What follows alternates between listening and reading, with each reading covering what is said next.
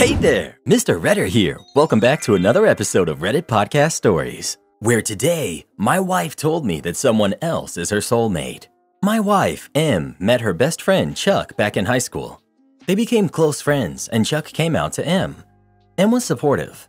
A year or so later, Chuck told his parents, and long story short, they kicked him out, and Chuck ended up living with Em and her parents for the rest of high school. Em and I started dating after college, and she told me all about Chuck and how close they were, and how he was like a brother to her. I met Chuck, and we got along and became friends. He's a great guy. At the time, Chuck was dating a guy. They ended up moving in together about the same time that Em and I got engaged. Em and I have been married for five years now. I'm a project manager, and I took on a year-long project in another city. I have to leave at 5:30 a.m. every morning and get home around 6:30 p.m. Em and I had a long talk about my job before I took on this project. We knew it would be a sacrifice for me to be working so much, but I'm getting more money than I ever thought I would. After this project, we can pay off our student debt and start trying to have a baby. We both agreed the money was worth it since it's only one year. That year will be up in late November. In March, Chuck caught his boyfriend cheating. He was devastated. Em immediately told him that he could move in with us. I was fine with him moving in, but was not happy that Em didn't even discuss it with me first. Chuck was pretty broken up, and Em was giving him lots of love and attention. I was fine with it because I know how much she loves him and he did need her. I also did my best to support him and make him feel loved as well. For a while, this was fine, but as time went on, Em has continued to pour all of her attention into Chuck. Sometimes I get home from work and neither of them are there, and I found out that they went to a movie or out to dinner together.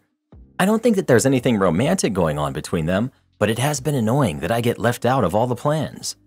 The past few weeks, several things have happened.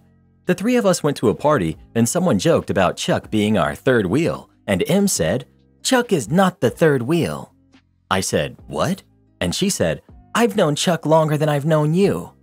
A week or so after that, Em and Chuck went out dancing one night. I had to work the next day, so I stayed home. I woke up at about 3 a.m. and Em was not in bed. I went and found her and Chuck cuddled up on the couch, asleep with the TV on.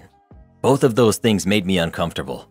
I also realized I had been working so much, I was just sort of letting Em and Chuck plan everything, and I had not planned a date night in a while.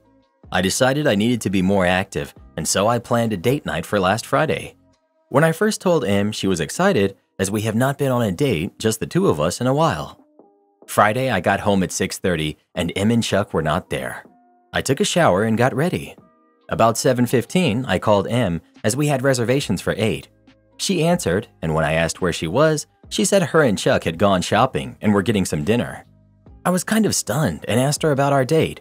She laughed and said, Oh, I forgot. Oh well. And that was that. She didn't even invite me to join them.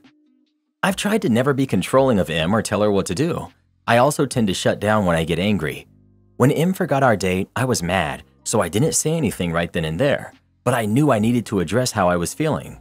So later that evening, I told her we needed to talk. I had written down some things so I could stay focused.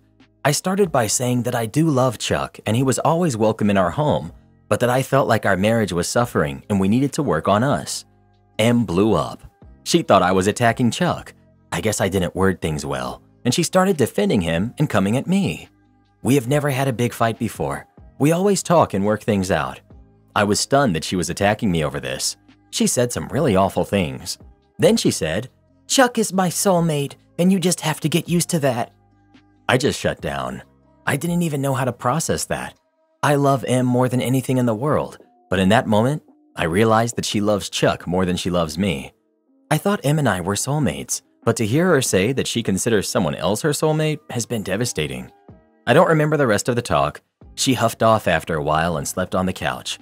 Her and Chuck left together on Saturday and were gone for most of the day. When they got back, she's acting like nothing ever happened. On Sunday, she even made a small joke and batted her eyes to me, something she does when she's flirting with me.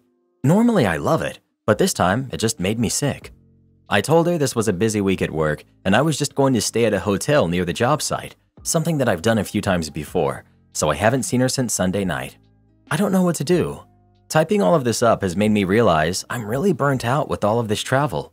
Maybe I checked out too much and haven't given her enough attention. But how do I move forward knowing she will never love me as I love her? Minor updates. Seeing a bunch of comments from women who say that they have more than one soulmate has given me given me hope. To me, you only have one soulmate, but that's not a word Em or I have ever really used, and I just really hope that she means it different than how I took it. We've been texting back and forth some this week, and we spoke on the phone last night. It wasn't anything big. She just called and said that she misses me and couldn't wait until I got home. I'll be home tonight. I told her we should talk about our fight last Friday, and she agreed and said she hates that we fought and we need to work it out. She said she loves me.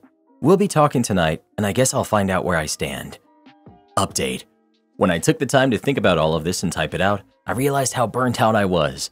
Friday morning, I met with my team, and I scheduled some time off coming up soon. I'm in a much better headspace now, knowing that I have that downtime. Em and I had our fight on Friday night. Then I left Monday and stayed out of town all week for my project. Em texted me this Friday and said Chuck was gone for the weekend, so we could spend time, just the two of us, and that she wanted to make up for our missed date. I got home Friday evening and we agreed to talk before doing anything else. I had written out everything I wanted to say and she sat there and listened. We talked for a long time and we each went back to some things to get clarification. So I'm not going to try and replay everything we said, just the main parts in the way that makes the most sense. I told her how I didn't like her joke about me being the third wheel and how much it hurt that she forgot our date and then how crushed I was that she said Chuck was her soulmate.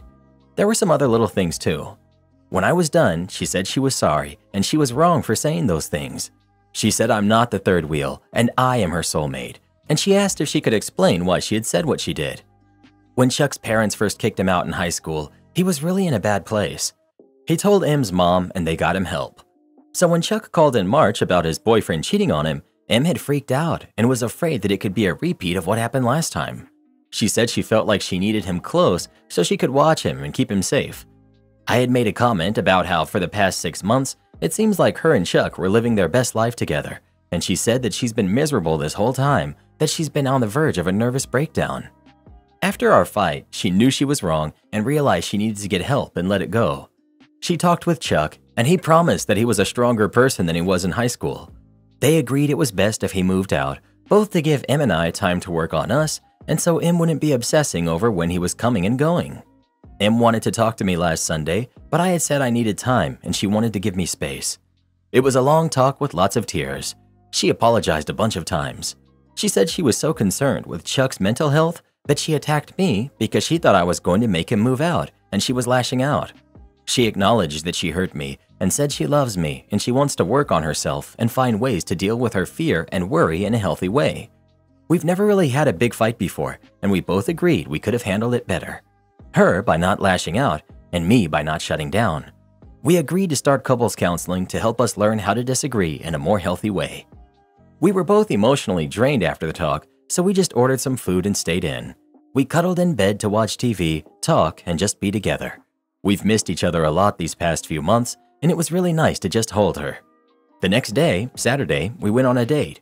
We went to breakfast, went shopping, saw a movie, and even got pedicures together.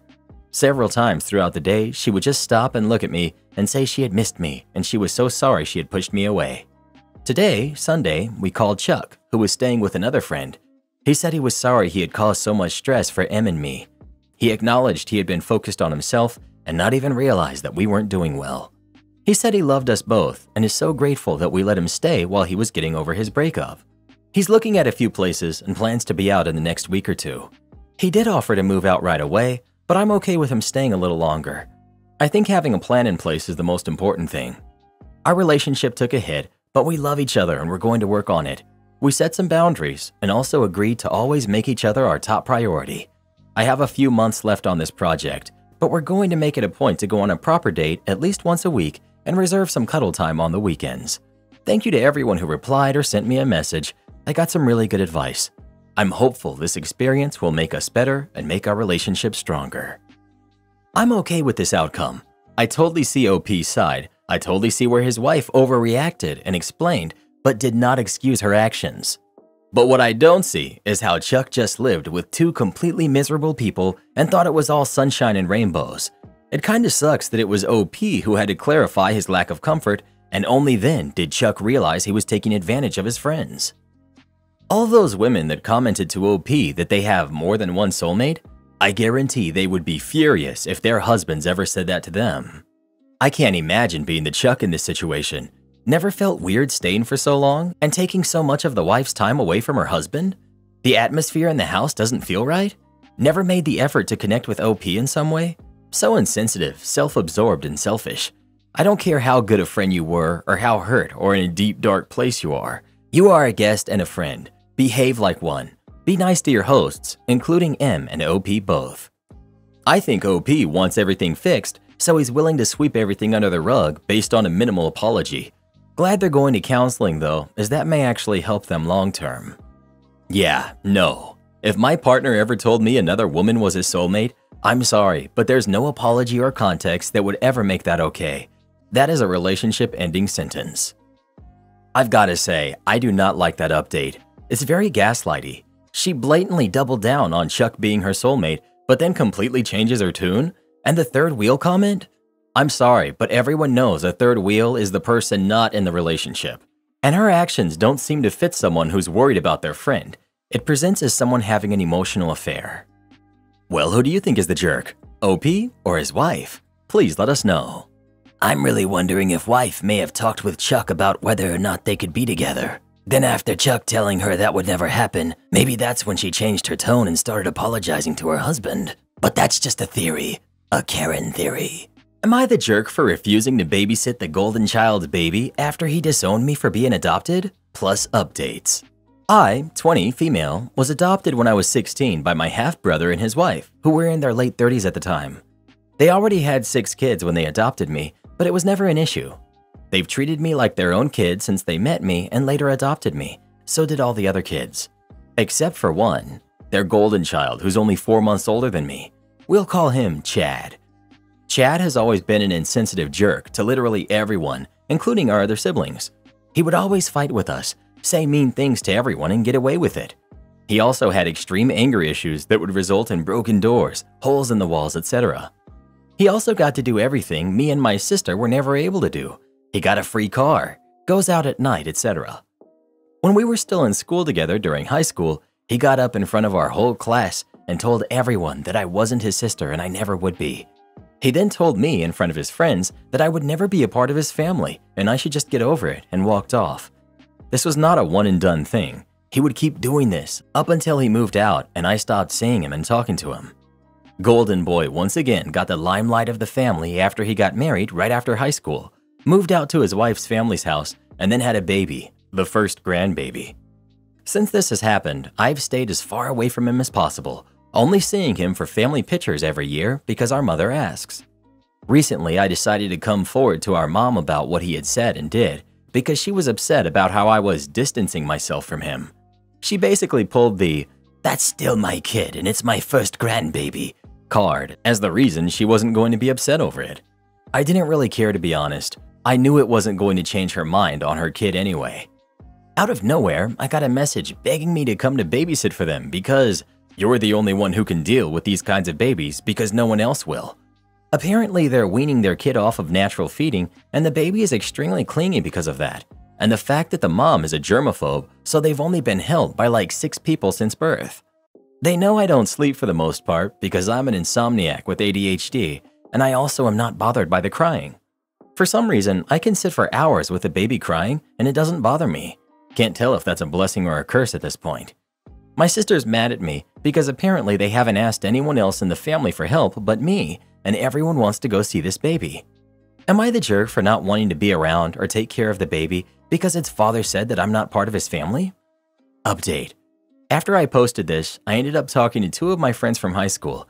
They were actually there during multiple occasions where Chad publicly said all of that stuff. I talked with them for a little while. One of these friends actually came over almost weekly when I was still living at my parents' house, so she firsthand understands my family. We talked, and we all mutually agreed I go this once, see if we can't mend things. If not, I can tell my mom and sister that I tried, but we're done with the whole thing. And if the whole negative thing with my family keeps up, I'll just cut them off for good. So I accepted to go babysit. I went over to Chad's house around 8 p.m. As soon as I showed up, I was greeted by Chad's wife, who was extremely happy to see me. She was tired. You could just tell that she had the I have a one year old face thing going on. She talked to me for a few minutes about how happy she was I came over and how she was glad to be going out with Chad. I kinda just listened to her go on and on before she finally got to the baby. Let's call him Seth. She explained to me his night route, feedings, etc. Nothing too big. Then she got to the end where she starts going on about how he was having crying fits at night and how he wouldn't get to sleep until mid morning. I was a little eh on that, but all babies have difficult routes, I guess. She then said they would only be gone for about 4 hours and that they would come home around 12:30, 1 at the latest. After this, Chad shows up from their room, literally starts talking to his wife, looks at me, and then just kind of looks me over for a minute and gives me a small wave and nod before heading out of the house. His wife follows and simply tells me to call or text if I need anything. For a minute, I was just stunned, but went to work to see Seth, which was odd because it was my first time seeing him in person and not in the photos that are hung around our partner's house. In person, he's the cutest little baby ever. He was fine the whole time, and he only cried because there was no one in the room, not because of the weaning. By this time it was around 11:30, almost 12. I would check the clock every few minutes just to see what time it was. 12:30 rolled around and I'm like, "Should I text them?" And I'm like, "No, let me give them another few minutes until I need to text them." I ended up texting both of them at one asking where they were because they did say they would be home by now. I got no reply from either of them. They finally show up at 3 in the morning. I'm livid at this point, not even over having to take care of Seth for a longer period of time, but just because they never texted me back. Like, what if there was an emergency or something? They walk into the living room, and I'm just like, I texted asking where y'all were at, and no one answered. And Chad's wife starts saying that, oh, Chad said it was fine and that it would only be an hour more. And I was just like, you know what? It's fine. Whatever. Seth is sleeping.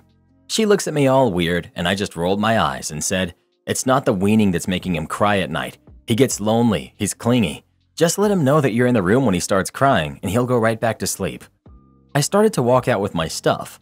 As I was right about to walk completely past Chad, when I turned around and was like, So, you aren't going to say anything to me? After I looked after your kid for like seven hours now? He snorted at me and was like, No, my wife is the one who talked me into this anyway. Ticked off at this point, I said, So this wasn't, I don't know, possibly a way to be able to apologize for high school? Or maybe all those other times you decided to outcast me from the family? Because I was under the impression that maybe you wanted to patch things up because of you asking me, of all people, to watch your kid. He sat there for a minute and just said, Why should I apologize? Because literally nothing from high school has changed. Man, you really do need to grow up and understand that me and my wife aren't going to cater to you like mom and dad did because you're adopted. You ain't our family and you won't ever be. At this point, I just got in my car and left. I ended up texting my mom about all of it, thinking she would get it in the morning when she woke up. No, of course she had to be awake. She apparently told Chad's wife about the conversation we had about all the stuff Chad had said and done to me in school. Apparently, his wife felt bad because she had an adopted sister too and felt horrible that Chad had done and said all those things. Apparently, mom didn't know about Chad asking about the babysitting thing until now, and she started talking to the wife, who is now upset. Apparently, she thought Chad would have changed since then and didn't think he would act this way that he did when I left.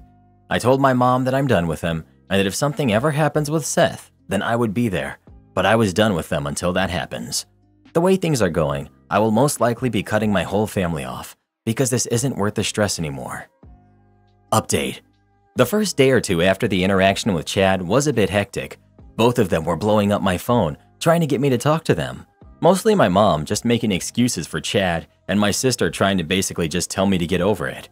I ended up telling the both of them, in text and over the phone, that I was over it, and I would be cutting myself off completely from Chad and his little family. This sparked some anger, but my mother soon went quiet, and later my sister. Everything seemed to be going pretty good after that for a while. That was until a week later when my sister showed up unannounced at my apartment, demanding that I take the blessing of getting to be around Chad's sheltered kid when no one else seemed to be able to, basically acting like it was some huge honor that I was asked to babysit. I almost snapped. I wanted to call her a jerk and tell her to get off my property and then not come back because I was just so sick of it, but I didn't. From my doorstep, I told her that if she wants to see the baby so bad, just go over and see it. It wasn't my issue to deal with, and I slammed the door in her face and watched her leave. It's been radio silent now for a while until earlier this week. I was scrolling on Instagram when I noticed that my oldest brother, the one that I get along super well with, and who has supported me about curing Chad off, his girlfriend and him have posted pictures of their proposal. I noticed the post had been made last week, but no one had told me, not even my mother. I texted my brother's girlfriend asking her about literally everything that was happening. She was surprised because my mother had said she had told everyone in the family about the wedding. She then told me that they would be holding a family meeting at my parents' house to talk about the wedding plans. I said okay. The meeting was for today around dinner time. I showed up and walked into the house and noticed that a lot of stuff was different decoration wise. My parents had our family photos all arranged around the living room and a few random frames with multiple small photos in them as well. I noticed that they had replaced multiple small photos of specifically me from the frames and replaced them with now pictures of Chad and his wife and my older brother and his girlfriend. What were maybe six pictures of me on any of the walls? There were now two, a baby picture of me and my senior high school photo that are now in the hallway, not even the living room. I ignored it and didn't say anything. After a while, everyone showed up, except for, of course, Chad, who my mom pulled the he wanted to spend time with the baby BS. They all started talking about the people plans of the part, aka people who are going to be key parts of the wedding cast.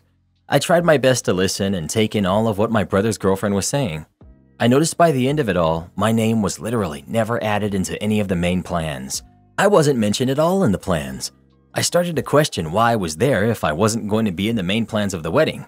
I was kinda like, why not just send me an invitation then? I went home and texted his girlfriend asking about what had happened at the little meeting. Apparently, my mother had told her that I wouldn't want to be involved in any of the wedding stuff and that it wasn't my thing. She called me unfeminine and that I wouldn't like doing any kind of bridal stuff because I'm not girly. She then said everything was set in stone now. My older sister is going to be a bridesmaid, and my little sister is going to be a flower girl. My little brother will be the ring holder, and my other little brother and Chad will be the groomsmen. And apparently, my mother also told her that because of what happened with Chad, that I shouldn't be sat at the family table, but at a guest table. I will just be another guest at the wedding. I really didn't say anything back because it hurt. It hurt that my mother would say that about me, that I wasn't feminine just because I don't enjoy a lot of girly things in my spare time, that I wasn't going to be able to enjoy doing something like a wedding or be a bridesmaid. I can't believe she would say that about me. To be honest, I don't even know if I'm going to go. The wedding is scheduled for the end of the year. It sounds stupid and petty, but this hurt me. It hurt that I'm being outcasted, most likely due to Chad once again. As I'm typing this, my sister is texting me about how she's helping plan all the bride stuff. Update Chad's wife is pregnant again. Am I the jerk for refusing to help my privileged wife cover her increased cost of living? So I, male 39, am married to the love of my life, who's 36. We only have two kids, ages 5 and 9, and we all live in a house in a nice small typical Scandinavian town. Our economy is mostly shared, more on this in a bit. I'm an engineer working as a consultant, great pay and benefits. I make more than I spend. My wife has a master's degree in human communication, a horribly useless degree, even according to herself. Since graduating something like eight years ago, she's been unable to find a job in her field. Note, those eight years do include her second pregnancy and maternity leave. Here's the thing my wife has very wealthy parents, like no financial worries at all wealthy. Thanks to them, her share of our house was gifted to her. I still pay mortgage on my share. They gifted her a brand new car, I drive my own. Each Christmas, they gift her $20,000. Her, not me. Besides that yearly gift, she has more or less been without income for most of her adult life, including when she attended university. She did hold a few odd jobs here and there. We share all family related expenses utilities, food, insurance, vacations, kid stuff, and so on through a shared account 50 50. Besides that, we have our own accounts, but many purchases go towards the family, house, kids anyway, so it's not like airtight. You know how it is. My wife recently got a part time job, 15 to 20 hours per week, in a clothing store. The pay is terrible, hours are weird, and she doesn't get along with the owner. Therefore, she's considering quitting. I'm telling her to go ahead, but also that even a bad job pays better than no job. In my opinion, she's a little picky with jobs, won't do cleaning, elderly care, and other stuff like that, despite those jobs being the ones that she's able to get without any qualifications. She keeps applying for jobs in her own field, but so far without any luck besides a couple of first round interviews. The market is very limited. Because of increased cost of living, You all know the story. Her yearly gift and small paycheck don't quite cut it anymore. She tells me that she's barely making ends meet. Therefore, she's asked me to help her out by paying a larger share of our shared expenses. I basically said no.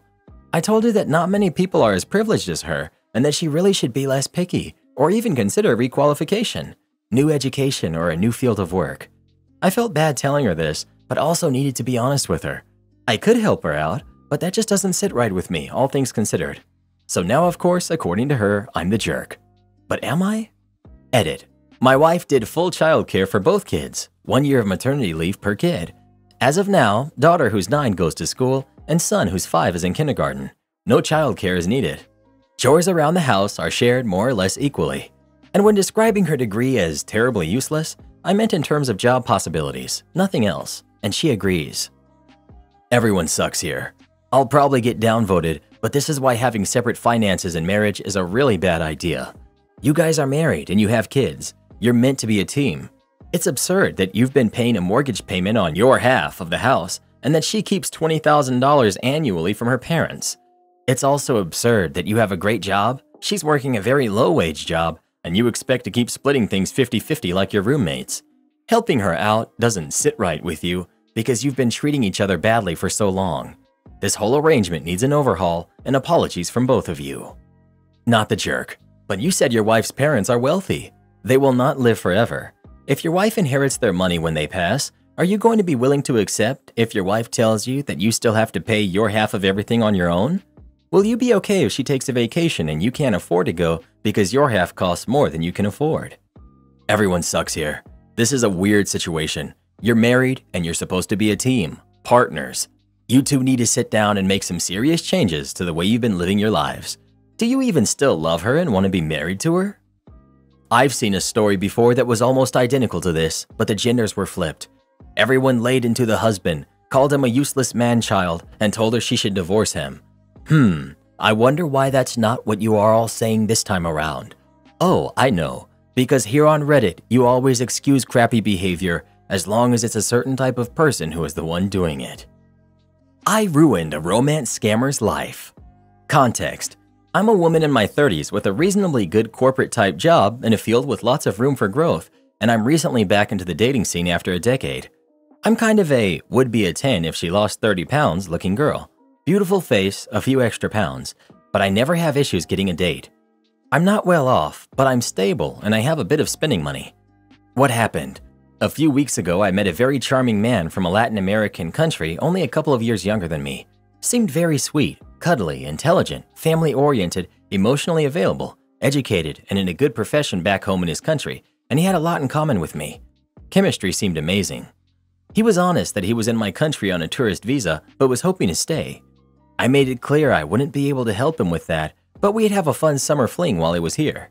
If he managed to stay or come back, only then could we consider a real relationship. Then the other shoe dropped. A couple weeks and four dates in, during a text conversation about my work, he asked me to be his sugar mommy. I initially laughed and assumed it was a joke. He kept pushing and clearly said it wasn't. Of course, feeling insulted by this, I went off on him. He maintained it as a serious ask until I hit a nerve with my complaints about how embarrassed he should be to ask me this. Then he got angry and insulted me for thinking he was serious about it. No apology for being hurtful. Obviously, what I did next was take screenshots and cry about it to my closest friends. I was hurt that I was fooled into thinking he liked me and that he thought I needed to pay for a man. My friends started to fuse on what happened next. One of my friends started snooping more on his online presence. Together, we found out six different Instagram accounts that were him using different variations of his name and different photos of himself, all uploaded in batches. On Facebook, a similar pattern. All very scammy and suspicious looking. He had been foolish enough on one of his profiles, though, to follow and tag the employer that he was working for illegally on his tourist visa in my country. So I contacted another close friend in a local law enforcement agency that works with immigration. She looked up his file. He had a wife and a daughter at home. I released the hounds after that.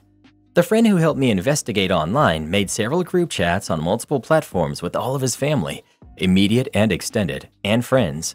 She released all of the screenshots as well as a rant about how shameful it was. As they started blocking her, she added more people.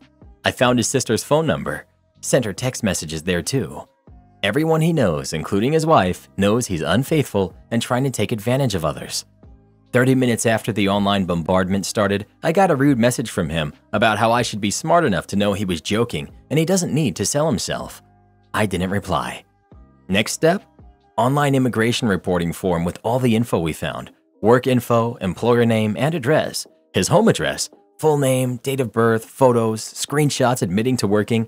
Usually these reports take months to be reviewed, if at all, but I gave the file number to my law enforcement friend.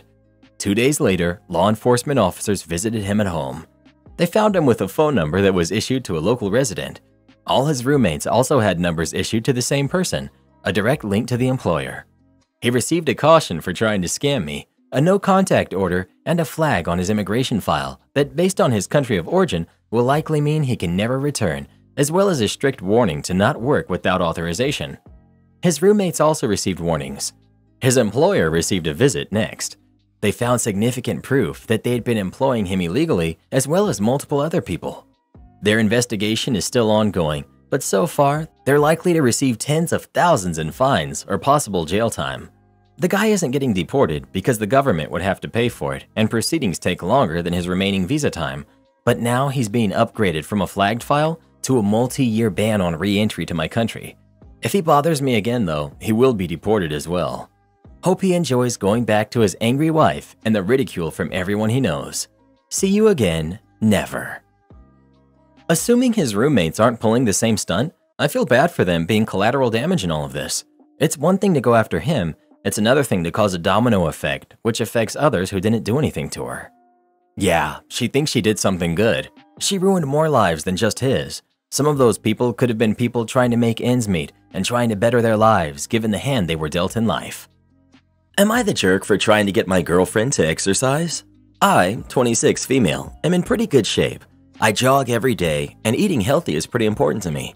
I also follow a low carb diet for health reasons.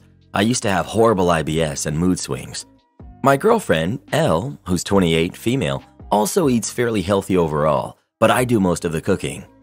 Before we got together, Elle mostly just ordered takeout and didn't cook much. We got together, and she's pretty happy overall with our eating habits because I'm a good cook, but she still buys processed junk food and less healthy items and keeps them around the house. I also bake a lot, and Elle is always happy to try what I make. Last year, I proposed to Elle, and she said yes. We're now in the stages of wedding planning. Recently, I noticed that Elle had gained some weight, and I'm a little worried about her health. Early on in our relationship, things were closed because of lockdown, and so we went on a lot of hikes together, and we used to go for walks multiple mornings a week. This, plus the fact that I was cooking for us and she was eating less takeout and processed food, led to her losing about 15 pounds by accident. She wasn't overweight, but had gained some due to lockdown, lost some, and after meeting me had lost the rest. I know living a sedentary lifestyle has its health consequences, and it really isn't good for you.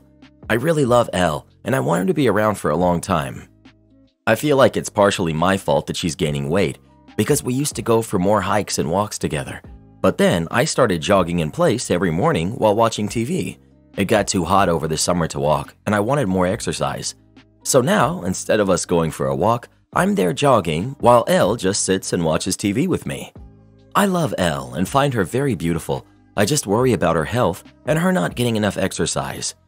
Every now and then, I suggest she jog in place with me, or I'll send her on an errand to the grocery store so she can at least get a little walk in, and she's happy to go get things but doesn't ever jog with me.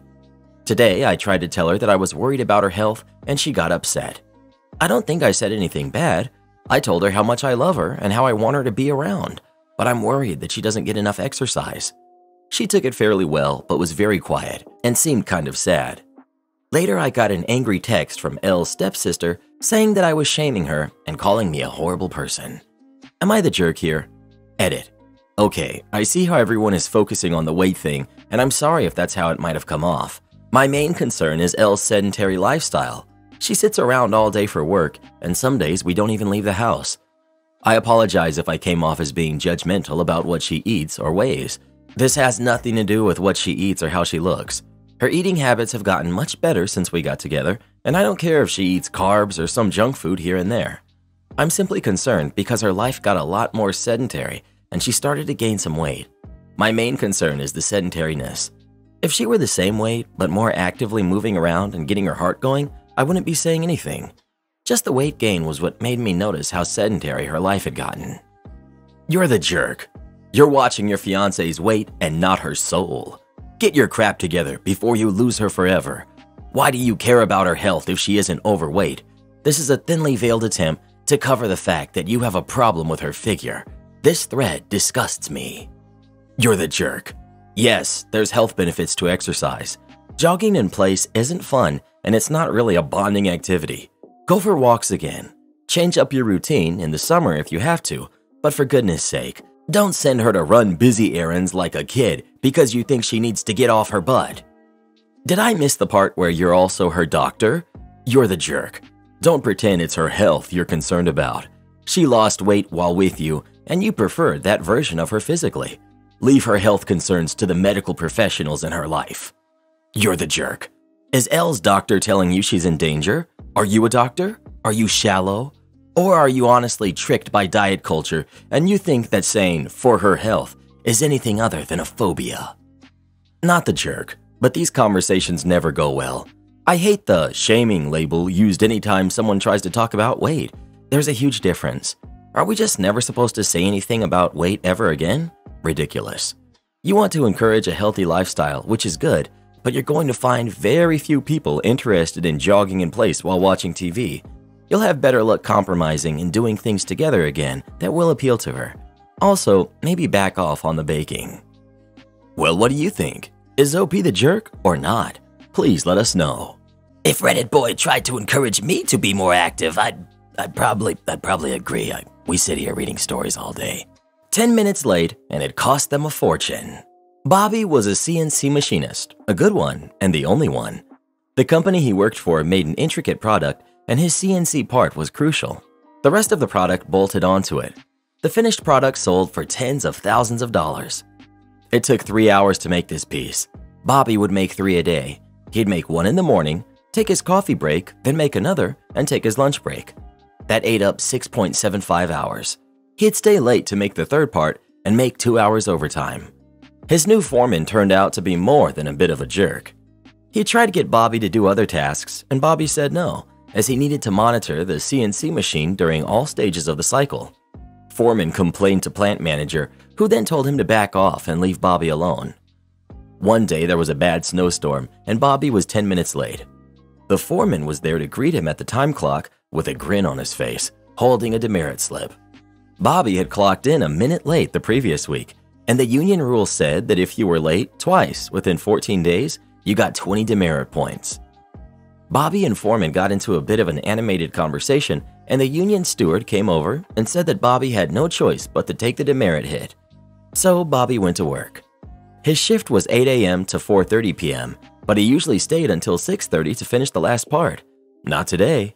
At 4:30, he shut the machine down and headed for the door. The next morning, Foreman comes over and says that the assembly team is short a part. Yeah, I know. I'm working on it right now. It'll be done in two hours. But they need three a day. Why didn't you make three of them yesterday? Because my shift is over at 4.30 and I went home. What? You stay every night until the third part is finished. Bobby pulled the demerit slip out of his shirt pocket, looked Foreman in the eye, and said, Not anymore. Bobby had done the math. Every week, instead of getting 15 parts, they were getting 10 or 11. Foreman tried to sweep it under the rug, but within a few days, chaos ensued. The assemblers had no core part, and their team went to the plant manager to let him know that production was falling. The assemblers liked it. They got to hang around yakking while they waited for the next CNC part to arrive. Eventually, there was a meeting with plant manager, union steward, and Bobby. Foreman tried to throw Bobby under the bus, saying that he refused overtime. Union steward pointed out that as per the contract, mandatory overtime was only in case of emergencies, and this wasn't an emergency.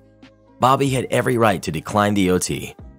Foreman lost his temper, started yelling at Bobby and Union Steward, and was asked to leave the meeting. Plant manager knew he was done for and looked at Bobby and asked, What's it going to take to get you to work the overtime? Bobby smiled and replied, As long as Foreman is my supervisor, I won't be working a minute of overtime and that was the last anyone saw of Foreman. By sticking to the contract, Bobby cost the company a handful of parts worth many thousands of dollars and put the company into a position where their lowered production would cost them even more in perpetuity. Bobby worked a couple of Saturdays to catch up and made double time for those shifts. They hired a new foreman who was explicitly instructed do not, under any circumstances, mess with Bobby. Am I the jerk for calling my sister cruel for her tattoo idea? Sister is 28. I'm 26, male. My sister, Anne, has always had a strained relationship with our parents, especially my mom. I'm clearly not privy to the reasons because things are fine with me and my parents. When Anne went to college, she met her creative writing professor as a freshman and they got close immediately. They would do a lot together and worked closely on a few different writing projects. Anne never specifically said this, but it was obvious to anyone who saw them interact that they had a substitute mother daughter type relationship, which hurt my mom a lot to see. I always thought she'd grow out of it or that the professor would move on, but 10 years later, they were still very close. About a month ago, the professor passed unexpectedly, and it really devastated Anne. She was really depressed over the holidays, which of course was all in front of my mom and was a difficult reminder that Anne loved the professor as a mother way more than she ever loved my mom as a mother.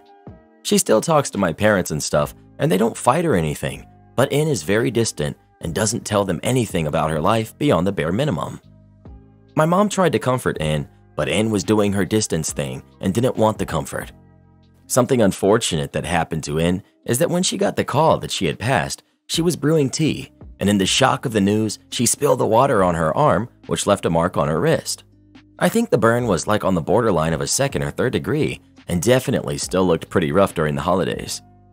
Anne said it was especially hard because, in addition to the physical pain, every time she looks at it, she's reminded of the moment that she found out the professor had passed, which I totally get. I was on FaceTime with Anne, and she said she talked to her tattoo artist friend, who said that the burn should be able to heal well enough to get a tattoo over it and then explicitly told me about her idea, which is a type of flower that the professor gave her a bouquet of for her undergrad graduation. My mom was so embarrassed that day because she didn't get Anne flowers, but the professor did, and Anne was parading them around so happy, and it was a reminder of their connection. I guess Anne and the professor exchanged these flowers for every special occasion, like birthdays, etc. So now she wants to get a decent sized tattoo in a highly visible spot of something that will remind everyone of the professor. I told Anne that this seemed really cruel to my mom, who already feels cast aside and like she's in exile from Anne, and that's without the constant permanent reminder. In kind of scoffed and said, I can't believe you think you have the right to tell me not to do this, called me a jerk and hung up, and is still not talking to me except for a very brief text saying, Congrats for a promotion I just got. My parents aren't commenting, my dad said I should have just kept quiet, even though he agrees, and my mom made no comment but seemed grateful I stood up for her. I feel like I was just being protective of my mom. Am I the jerk? What you have described is the golden child and scapegoat kid. You being the golden child. Anne didn't get what she needed from her own mother, and she was incredibly fortunate that another stepped in and took on that role. Take your blinders off and see. Ask your sister if she felt second best growing up, and be open and silent when and to what she tells you. Yes, you're the jerk. You're the jerk. Not much else to say other than it's okay for people to have meaningful connections to humans in life who aren't their parents and honor them and that connection however they want. It's not her problem to deal with her mother's pain or feeling left out. You're the jerk. Mind your own business. Your mom being embarrassed because she forgot to buy her daughter flowers is her own darn problem. We can all tell you were mommy's golden child from this post. Your poor sister. Not the jerk. Ignore all of these people insulting you and calling you names like golden child.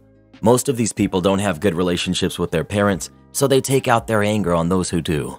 They also look for excuses to play the victim card, and calling you a golden child helps them feel better about their sad lives. The fact is, you love your mom, and you're just trying to look out for her. I assure you these people insulting you don't even love their parents, probably because mommy and daddy refuse to pay for their liberal arts degrees. Oh, you're also a man trying to get your sister to show compassion to your mother. Reddit absolutely cannot stand these sorts of scenarios. They think it's wrong of men to guide or lead others, which is why the US leads the world in fatherless homes at 23%. Gee, maybe this is why we also lead the world in mental illness. Just like a classroom needs structure, so do our homes and families. When you have a society where fathers cannot play the role they've played for thousands of years, our current society is what you end up with. And it's exactly what certain groups in power have been working towards for a long time. Why? Because sick people who are hurting, lack direction, angry, bitter, unintelligent, and financially illiterate are the easiest ones to manipulate, control, and capitalize on. Well, who do you think is the jerk? OP or his sister? Please let us know. Freak out over my child free wedding? Okay, prepare to be embarrassed. My sister got married last summer. She had a very elegant and beautiful wedding and reception planned. It was child free.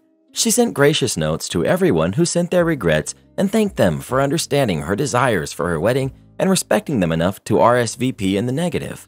She also invited them to a party later that summer at her home if they wanted to take pictures with her and her wedding party in their fancy clothes.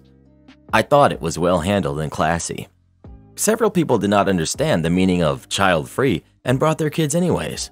One screamed through the ceremony, and the mom would not leave the chapel because she did not want to cause a fuss. There were no extra places for them at the reception, so their parents had to share their food with them. The worst was the kid that wanted a cupcake off the table the wedding cake was on. He tipped the wedding cake onto the floor. My dad saved it, but there was a handprint on the lowest tier and a lot of cupcakes hit the floor. All in all, it was four families that brought uninvited kids.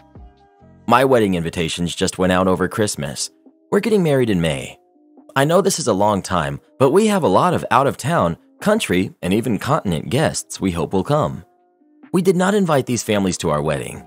We have a Facebook group for the wedding for people to share pictures and memories that we might want to put in the wedding video. They found out about the group and posted to my personal page about being excluded and asking why we're not inviting them. I messaged them privately and asked them to take down their posts and explain that my wedding was smaller and I wasn't having as many guests as my sister. They went public again and complained about me excluding them for no good reason. So I posted the receipts. I posted a video my cousin sent me of the kid crying during the ceremony and the parents doing nothing. The video of the kid freaking out because he had to share trout for supper. The before and after pictures of the wedding cake table. And I also asked if they knew in advance that they were not supposed to bring their kids to the wedding. Then everyone started piling on them.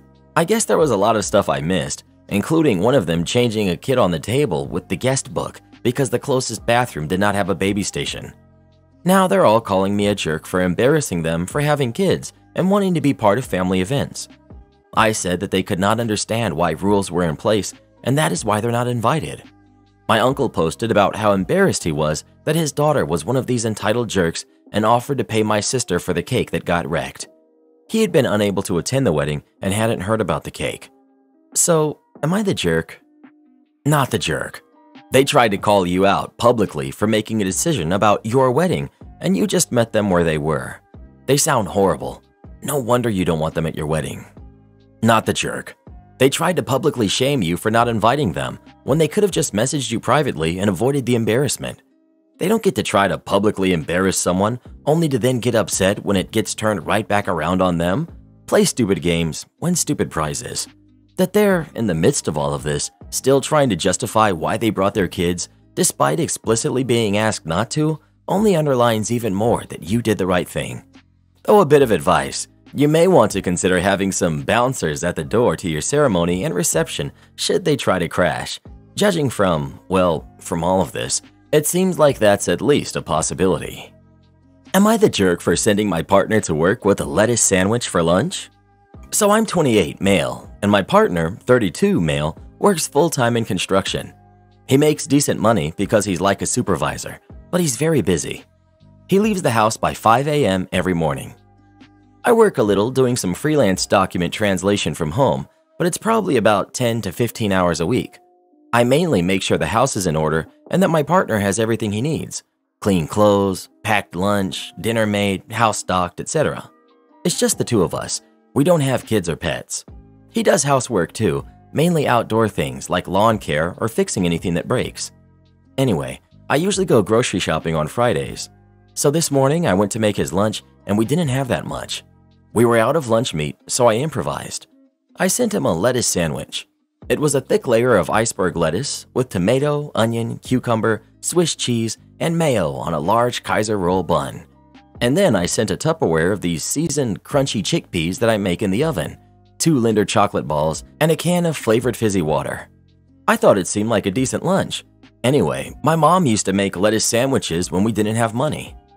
Well, he texted me that he was mad. He said, What is this? It's just lettuce. I said we didn't have any meat and I was just trying to put something together in the morning before grocery shopping. He said, This is not a lunch. I'm going to be hungry all day now. It's fine if we didn't have anything, but just tell me and I'll order in a lunch. Now it's too late to order anything because you made me think I had an actual lunch, but it's just lettuce. In general, he's not one of those carnivore men who just eats meat at every meal, but we do usually have meat. His job can be stressful, so I just apologized and said I'd do that next time. He didn't respond, but now, like three hours later, he just texted, Yeah, you're sorry, but you don't really know what it's like to have to do hours of physical work on an empty stomach. I didn't respond, but now I'm feeling a little annoyed with him. Like, does he really have an empty stomach? It was a lunch after all. He's pretty big, like 6 foot, 220 pounds, basically no fat on him. So maybe he does need more. I don't know. In general, I know he works very hard and I get to have a relatively stress free life. So I feel bad making his day harder than it has to be. But I feel like he's kind of exaggerating. Anyway, it's not going to be a big issue, and I already went to the store and I'm making homemade bacon double cheeseburgers and fresh cut fries for dinner. But I was just wondering if it's really so bad to send a lettuce sandwich for lunch. Edit. So the man is fed and happy. I didn't bring it up or act angry or anything, I just let it go and he did apologize on his own after dinner. He basically said, Sorry, I didn't mean to be a jerk about lunch, but yeah, next time just let me know if we're out of meat and I'll order some food. And I just said, Yeah, sorry about that. My brain probably wasn't fully functioning that early. And that was it. Now we're chilling on the couch together, so all good. Oh, and the people wondering why I didn't have food in the house, this man housed an entire tray of enchiladas for dinner yesterday that I was expecting to have leftovers to send for lunch today. I was gonna send that with a salad, not on bread, and some crackers and the chocolates. That's why I was at a bit of a loss this morning. Anyway, thanks for the responses. Lots of not the jerks, but you're the jerks from people who have actually been in my partner's situation, so I'll just be more mindful of that going forward. Thanks all. Not the jerk. It's not a lettuce sandwich. It's a cheese salad sandwich. Not the jerk. He shouldn't be taking this out on you. You prepared him a lovely, hearty vegetarian meal. A couple slices of ham aren't going to change the impact of that meal overly much. He's being a baby and owes you an apology.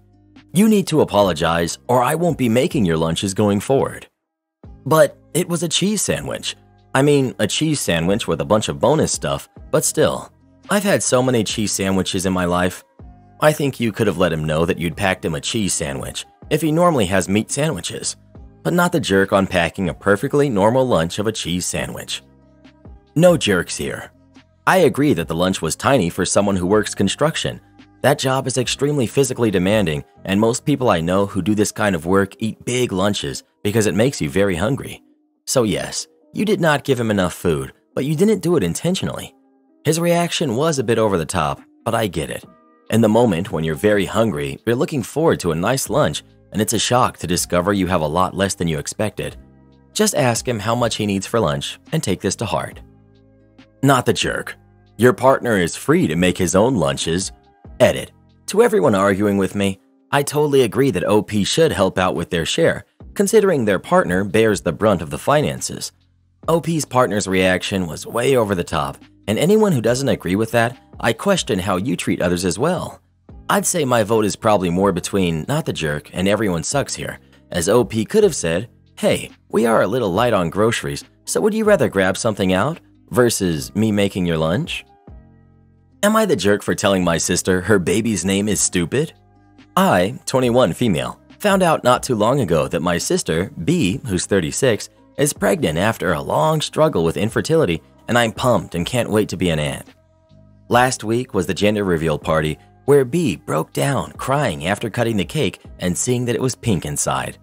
Her and her husband are thrilled because they apparently wanted a girl. She said right then that the baby would be named Mary. For reference, B is a born again Christian. She found Jesus during her third time in rehab. She'll go on and on to anyone who will listen about how she had visions of the Virgin Mary by her bedside telling her that she would get better, that the pain was temporary, and how she would do great things after recovering. That was eight years ago. She met her husband not long after that, in church, of course, and fell head over heels in love, saying that God made them for each other. I kind of just rolled my eyes at the declaration. Mary is just so old and boring. B asked me what was wrong. I was honest and told her that I thought the name was a little boring.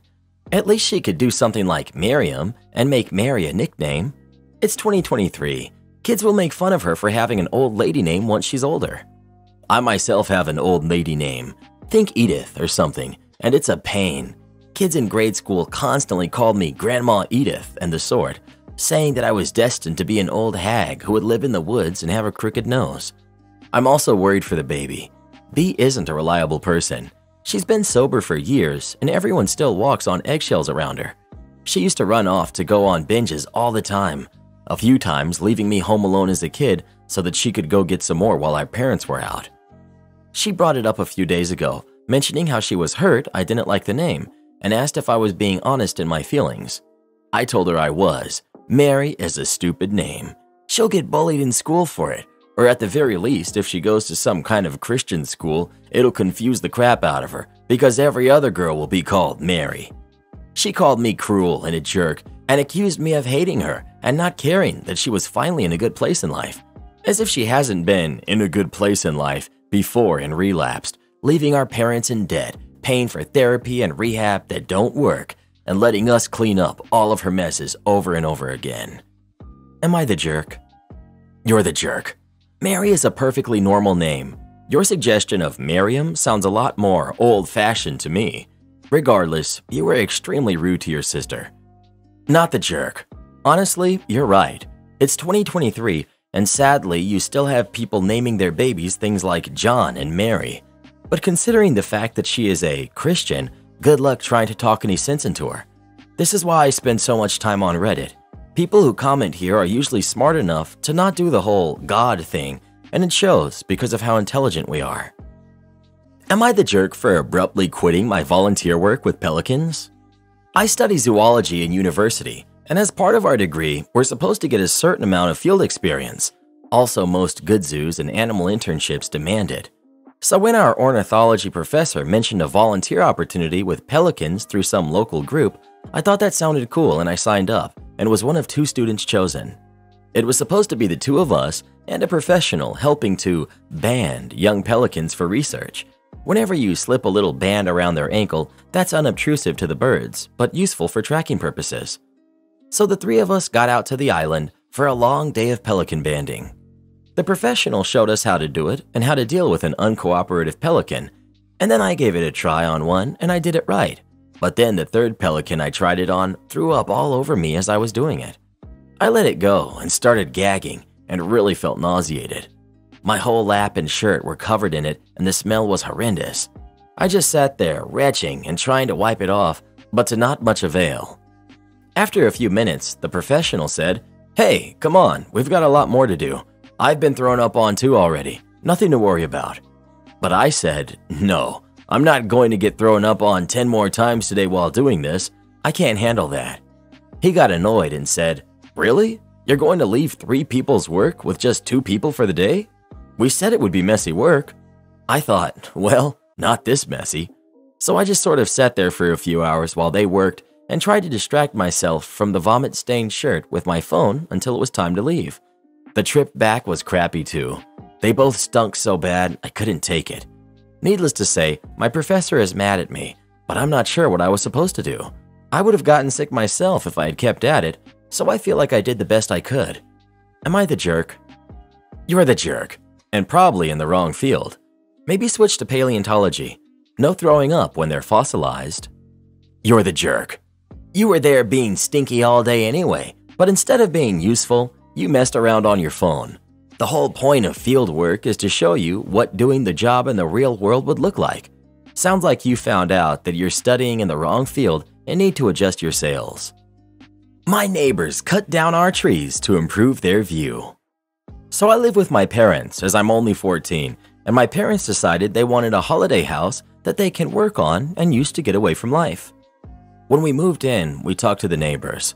On one side is the nice neighbors, a lovely couple who have just moved into their first house, and on the other side are the entitled neighbors who rent their house to any people who want to have parties. When we look around the garden, we see three very tall trees healthy trees which have probably taken about 200 years to grow.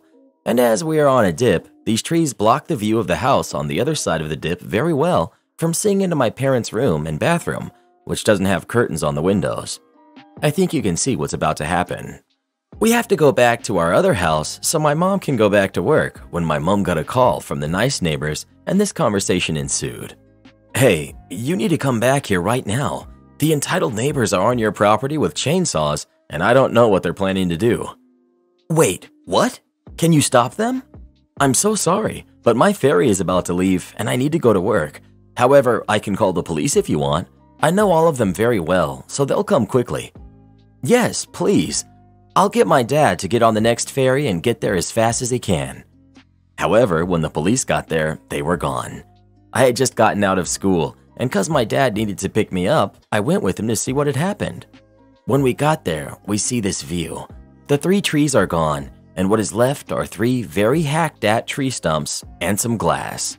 They had cut down our trees and in the process smashed parts of the glass wall around the deck. Hearing chainsaws, we look over. There's no fence yet. We see three mid 30s men cutting wood up, probably for firewood. This is when the entitlement really starts.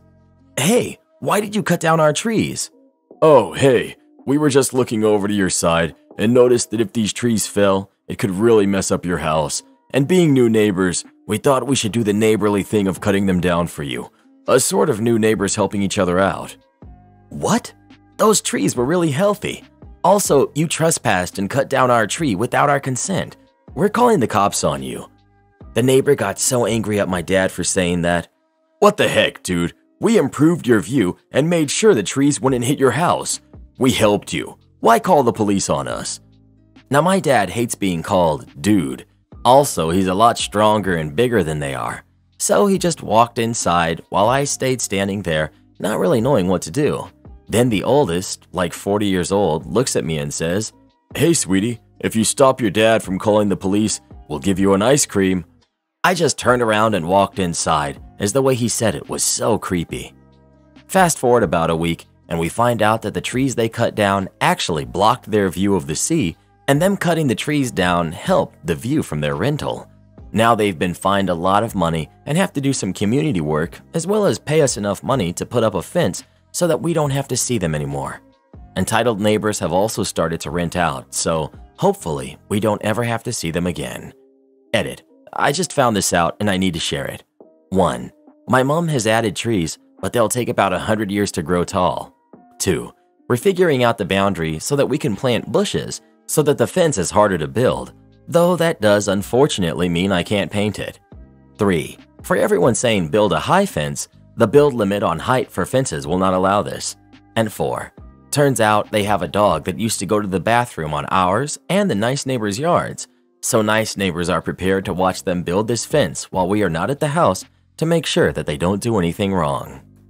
My parents are demanding I pay rent and calling me a freeloader just because I have a video game addiction.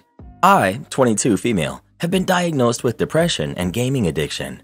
I hold a stable job making a very good salary, and I've moved back in with my parents to save up for a down payment as well as their general concern over my mental state.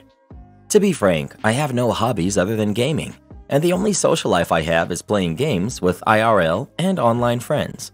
However, after I graduated university and came back, my parents have elected to smash one of my monitors, cut my Ethernet cord, and now physically taken my PC due to arguments over my gaming habits.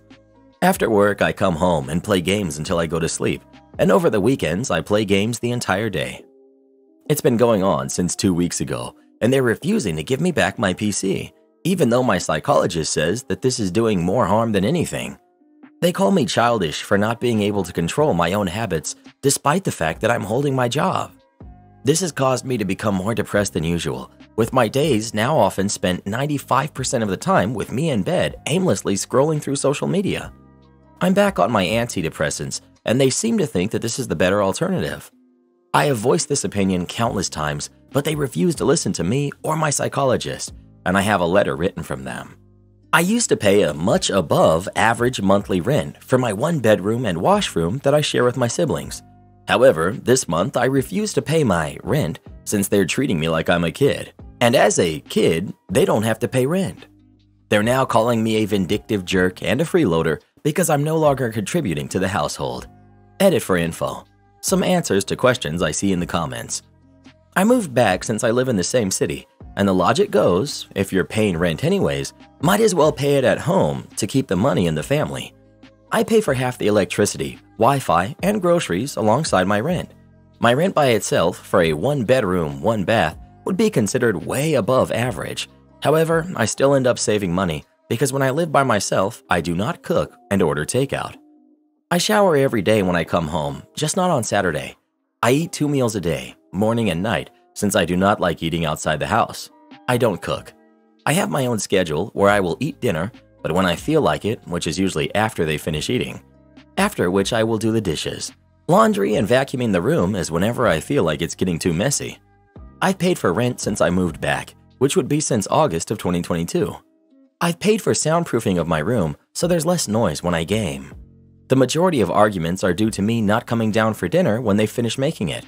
What caused them to destroy my properties the two times were 1. Not willing to go to my younger sibling's school play, 2. Sleeping in until noon or afternoon during the weekends.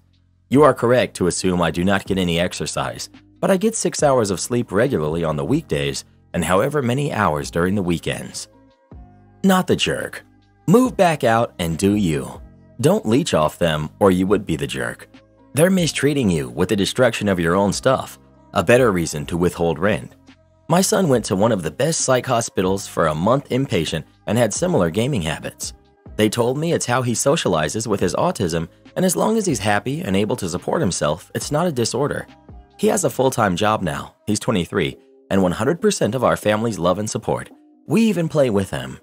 You may get a lot of varying opinions or mean comments. Ignore them. No one but you gets to decide how you spend your free time. As long as you're not harming anyone and you're not burdening anyone, enjoy it and don't feel guilty. That ought to help with the depression too. Traditional socializing is overrated.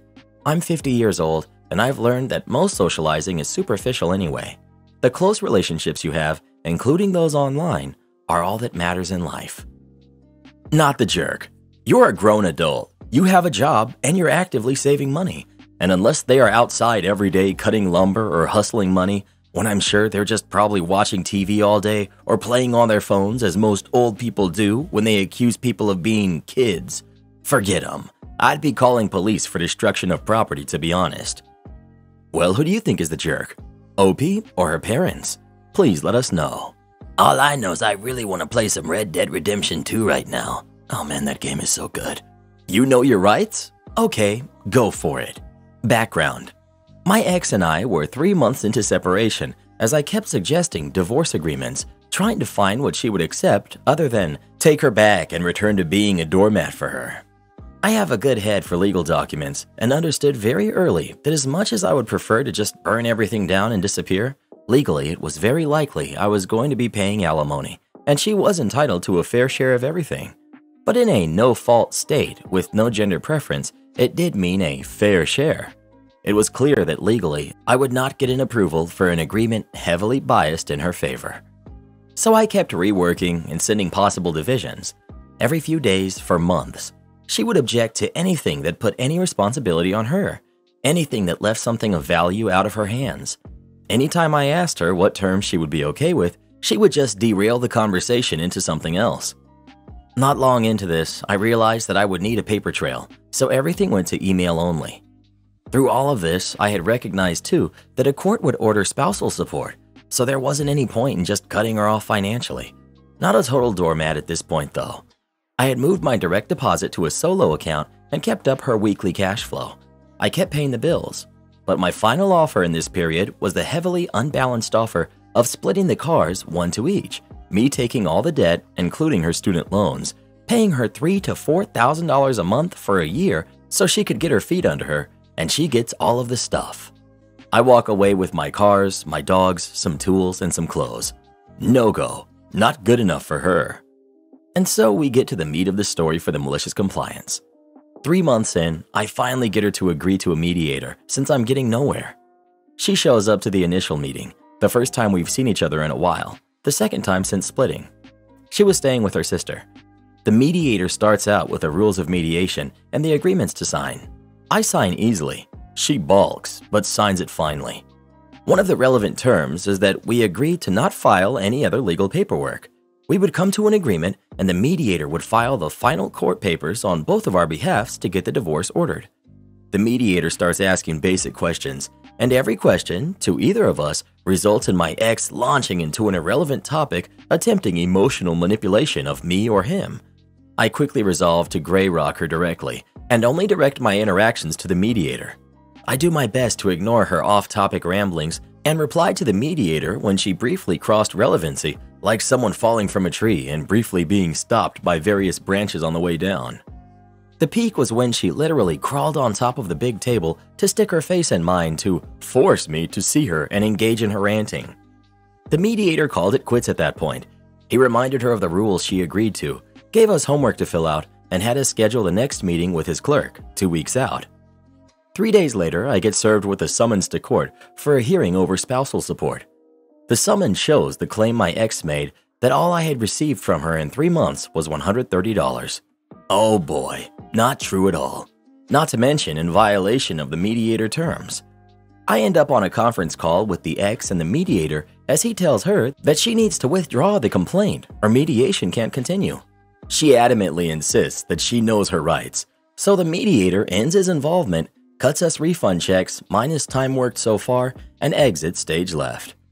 I prepare for the hearing. I print out three months of bank statements and highlight every transfer to her, every bill paid on her behalf, every ATM withdrawal by her card, over 100 toll bills I received from her just driving through express lane tolls, so I got the elevated license plate fee mailed to me. $13,000 in change. You missed a couple zeros in your complaint, I thought. My final stack of papers was rather thick, so I made and printed an Excel spreadsheet summary for the cover sheet. I also looked up the spousal support rules again it is 40% of the difference between the income goes from the higher paid to the lower paid. Some little wiggle room, but that's it. Simple. She was currently getting up to 72% of my pay once you factored her bills in. This court hearing was a good thing. Not as good as a mediator and fast resolution, but I wasn't likely to end up done more here. Not to mention, I had some daydreams of her finding out what lying on court documents might do. Court date rolls around, I show up to court, waiting in the hall outside the family law section. She shows up and plops herself next to me and starts going off on me again. I try to ignore her. Then, to keep from engaging, I start a written transcript of her ranting using the back cover of my paperwork folder.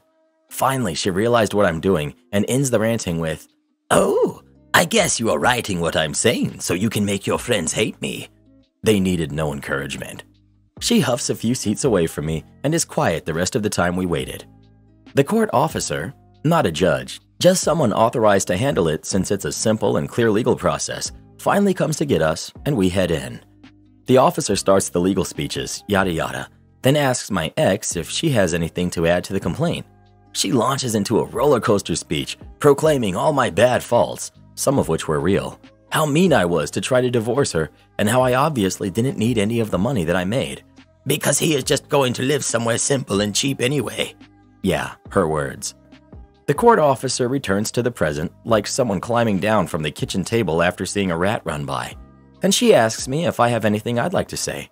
She can see the stack of paper and eyeballs it as she's talking. I hand over the stack, tell the officer that the summary sheet on top should help clear up the financial points in question, and just verbally start going through the items. At each one, my ex interrupts to give a reason why that item shouldn't count. Every single one. The officer keeps asking her to stop interrupting, but to no avail. We finally finish the list. The officer is shaking her head slightly and says, Mr. Yen, the court process is to ensure that both parties are doing the right thing. So all of the, and gestures to encompass the stack of paper, needs to stop right now. We will garnish your paychecks for the amount specified by law and send that to her instead. I know it's a win. I knew it was going to be. She didn't. She sat there all smug as we get into the calculations. I asked for a couple of adjustments to keep the amount of her car payment since I co signed and I wanted to be sure the bill was paid. I expected that she would refuse or overspend on other stuff and be unable to pay it. I didn't want to give her the power to trash my credit. The officer agreed. I then asked to keep the insurance payment amount too, for much the same reason, also agreed by the officer. My ex continued to be smug. I know she was thrilled at the idea of getting a court check directly. It sure would show me. Everything wrapped up. We got the totals, signed papers, I handed over a check for the first payment, and the officer got to make copies of everything. I asked the officer if I could wait in another room while she did, and got an agreement with a bit of side eye at my ex. I got my paperwork first, with the officer saying, It might take a few minutes for her to get her paperwork, but you're free to go. I got the hint and left immediately. I had parked a few streets away anyway, another barrier if she couldn't park near me. I got in my car and immediately called my cell carrier and canceled her phone. Does she want to set up her own plan? I can't answer that. I'm obeying a court order to remove her from my accounts. Okay. And worked down the remaining subscriptions I was paying for that she used. I even had the bills in front of me from court with account numbers and customer service numbers right there. I was done and driving home when she started blowing up my phone with incoming emails demanding to know what I was doing. Then texts from her sister's phone, then calls. I just grinned and didn't answer any of them. She stopped after an hour or so and gave me a few hours of silence. Then, an all caps email with a screenshot of the Netflix inactive account message. OMG, even Netflix? I admit, I giggled. The fallout wasn't over though. A month later, after she realized how much less she has from me after winning her case, she files an appeal. It's denied due to lack of reason. A month later, she files a complaint that I wasn't paying her car payment just an excuse to get into court. I had been paying it, and I was also pretty confident that even if I hadn't, she didn't know how to get into that loan's account. She legally could, just never had cared to learn how. I had a lawyer at this point, and we both go to court. She's going to join by phone. The officer paused before calling and tells my lawyer, This lady is a piece of work. The validation of that statement will always remain with me. The call goes predictably. My ex makes irrelevant rants. The officer keeps shutting her down. Finally, asks my ex for proof that I wasn't paying the car payment, as she's holding statements and check images proving I had. My ex nearly screams, I just know he isn't, so he can hurt me. The officer replies, I'm holding proof that he has paid it and is satisfying his legal obligation. The complaint is dismissed. Thank you. And hangs up on my ex. Divorce took another 10 months, lots more crazy, teaches her newbie lawyer a hard lesson, and I walked away with even less alimony than the spousal support and only about 60% of the debt. I lost my dogs to her though, my only regret in the outcome. One is certainly past old age limits now, the other is in that range. I still miss them. Yowza, stories like this make you think it might not be worth the risk of getting married these days. Am I the jerk for letting my daughter and her husband move in with me so they won't be homeless? This situation is complicated, and I'm at my wits' end. I have two daughters who are civil to each other but don't get along with each other. My eldest is married to Steve, while my youngest is engaged to Adam. Steve and Adam are so different, they disliked each other the first time they met. Steve works part time because he treasures family time with my daughter. They spend their time traveling and exploring different parts of the States. He spends freely because he often says he can't take his money with him when he dies. Adam is an executive, and for his side business, he owns several dozen properties. He works about 80 hours a week at both jobs because his philosophy is that he wants to make as much money as possible while he's young so that he can retire early. Steve thinks Adam is a corporate shill and basically blames him for everything that's wrong with society. Steve said that Adam is actively keeping people from buying homes and making them dependent on him. Adam thinks Steve is a slacker and has told Steve people like him who do the bare minimum but expect handouts are what's wrong with society. Neither of them are bad, and they treat my daughters well. I retired last year due to my health, so Adam built a house for me so that I can live comfortably. I was able to customize everything in the house to fit my taste. Adam owns the house, pays for all of the utilities, and charges me $1 a month for rent. Part of our deal is that no one else can live in the house but me. He was very clear about this. Steve recently lost his job, so he and my eldest are living off of her single income. As you can imagine, they're struggling. My eldest recently called me crying because their savings are almost gone and they can't make next month's rent. She asked if she and Steve could move in with me until he finds another job. I live on a fixed income, so I don't have money to set them up in another apartment. She's my daughter, and I couldn't let her be homeless, so I let Steve and her move in. I gave them strict rules and a time limit on when they had to move out. I didn't think my youngest and Adam would even find out about it because they live in another state, but somehow she found out. She called and screamed at me last night for betraying Adam's trust, but I argued that I'm a mother to two daughters and I can't let one be homeless. I told her about the rules and time limit and begged her not to tell Adam. She hung up on me, so I don't know what's going to happen. I know I went back on an agreement, but I had a good reason. Edit. I couldn't add many details in the original post because I was afraid of going over the character limits. Adam pays the taxes and utilities on this house, but because it's the only house he has in this state, he keeps its financials separate from the rest of his properties. Also, he doesn't really have anything to do with the house. Instead, he gave it over to my youngest to take care of, so she handles all the bills and maintenance and pays them out of an account he set up. She noticed the increased utility costs, which is when she called. We just spoke again, and I laid my soul bare to her. I know I was going back on our agreement, but it was to keep her sister from being homeless. We had a lengthy conversation, and in the end, she agreed not to tell Adam. She'll cover the increased utility cost out of her own pocket so he won't notice it. In exchange, her sister and Steve will have three months, then we'll have to move out. I originally told them they had six months. I'm lucky to have such a compassionate daughter. Thank you for taking the time to read my post. Some of the comments were very hurtful, but some were helpful. You made me realize I should have called my youngest at the start and asked. That would have saved a lot of tears. You're the jerk. I'm sorry, but Adam is doing you a favor by letting you live in this house, and he gave you one rule, so he's not taking advantage of, and not only did you break this rule, but you did so by allowing the person who insults Adam to live there. Your daughter and her husband want to live by the values they have, fair enough, but they need to be able to have money to back that up. If by Steve losing his part time job, they're in this much trouble, then they didn't have the money to spend freely and go traveling to begin with. Yeah, you have two daughters, but at the end of the day, the person who owns the house has no obligation to house your adult daughter and her husband, and honestly, you. So if you lose your home because of this, then you only have yourself to blame. Well, what do you think? Is OP a jerk or not? Please let us know. I think when Adam finds out, which you know he will, he's then going to know that he can't trust his own wife to not keep important things from him, or this is going to cause a lot of issues. My boss stole my Super Bowl tickets, so I made him lose a major client. I'm a huge 49ers fan. The rapid all day tailgate in the parking lot type. A few years ago, we made it back to the Super Bowl. I was working at a consulting firm with a handful of accounts I would interact with daily. One client in particular knew how big of a Niners fan I was.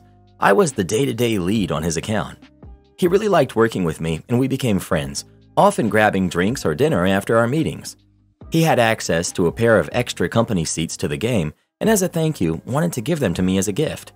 He passed the tickets over to the partner on that account, who I will refer to as Jerkhead Partner, to be given to me as a surprise. The game came and went, we lost, it sucked. The next time we met, we went to drinks afterwards, and he mentioned, Hey, by the way, why didn't you go to the game? I heard someone else was in your seats. I asked, What game?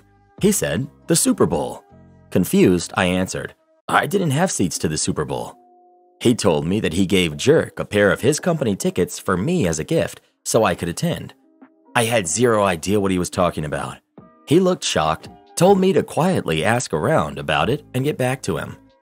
When I was back in the office the next week, I found out through one of the secretaries that Jerk had given a pair of Super Bowl tickets to another one of his clients as a gift from our company. I might have let this sort of thing go to keep the peace under different circumstances, but these were seats on the 30 yard line to see the 49ers play in the Super Bowl. I was ticked. I considered confronting Jerk myself, but realized it was the client who had noticed I wasn't there in the first place, so if I let him handle it, there would be no blowback on me. So I texted him Hey, I just wanted to thank you so much for thinking of me with those seats. It appears that they were given to another one of our firm's clients. He texted back right away in all caps Are you kidding me? And then, pretend I never told you. let me handle this. He followed up with me about formulating a plan. A few days later, we were asked to come down for a meeting in their office. The client requested the partner be present, not entirely unusual, so Jerk and I hopped a flight the next week and headed over to their office. Little did Jerk know, my client had orchestrated a wonderfully awkward little show to catch him red handed. When we entered the conference room, it was all the usual suspects, along with a woman in her 30s we didn't recognize. My client immediately introduces Jerk. This is Stephanie such and such, VP from the other department. She wanted to sit in on this meeting. Hey, OP, you guys must already know her from the Super Bowl. She then responds as she goes to shake my hand. Oh, I don't think so. Did we meet there? I'm sorry if I forgot. Client responds, Gee, Steph, how much did you have to drink? They were sitting right next to you. Client looks at me and I say, Sorry, I wasn't there. Are you thinking of someone else? At this point, Jerk is looking visibly uncomfortable, probably trying to come up with an excuse. He starts in with an, um, when Stephanie says over to him, No, so and so from the other company was in their seats. By the way, I was wondering why we gave company seats to those guys. Is there a project we're working on with them that I don't know about? Obviously not. They were in completely different industries. It would be like Coca Cola partnering with John Deere. Jerk lets out an, uh, again, and the client immediately speaks over him, asking, Jerk, I gave you those tickets for OP. At this point, Jerk is turning bright red. He responds with, Oh, uh, well, he, he wasn't going to be able to make it, so he must have given the seats away to someone else, and turns to me, looking for me to cover for him. Client smirks at me. I respond, Uh, what are you talking about? Client, you gave me tickets to the Super Bowl? Client suddenly raises his voice. Jerk, those tickets were a personal thank you gift to OP. Did you give them to someone else? Was it another client? Jerk butts in with an, Oh, uh, maybe something got mixed up in the office. Client went quiet for what probably seemed like an eternity to Jerk. He then looked down, grabbed his portfolio and iPad, put them into his briefcase, and said, I think this meeting is over. OP, it seems as if I owe you a thank you gift. Let's go to lunch. Stephanie, you're welcome to join. Jerk, I need to evaluate our relationship. Please go back home and expect to hear from us next week.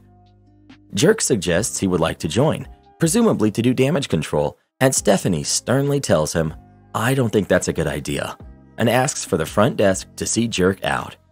As soon as he's in the elevator, we all break out laughing hysterically. Stephanie wasn't really a VP, just an employee at the company who client had drafted into helping with his pre-planned meeting skit.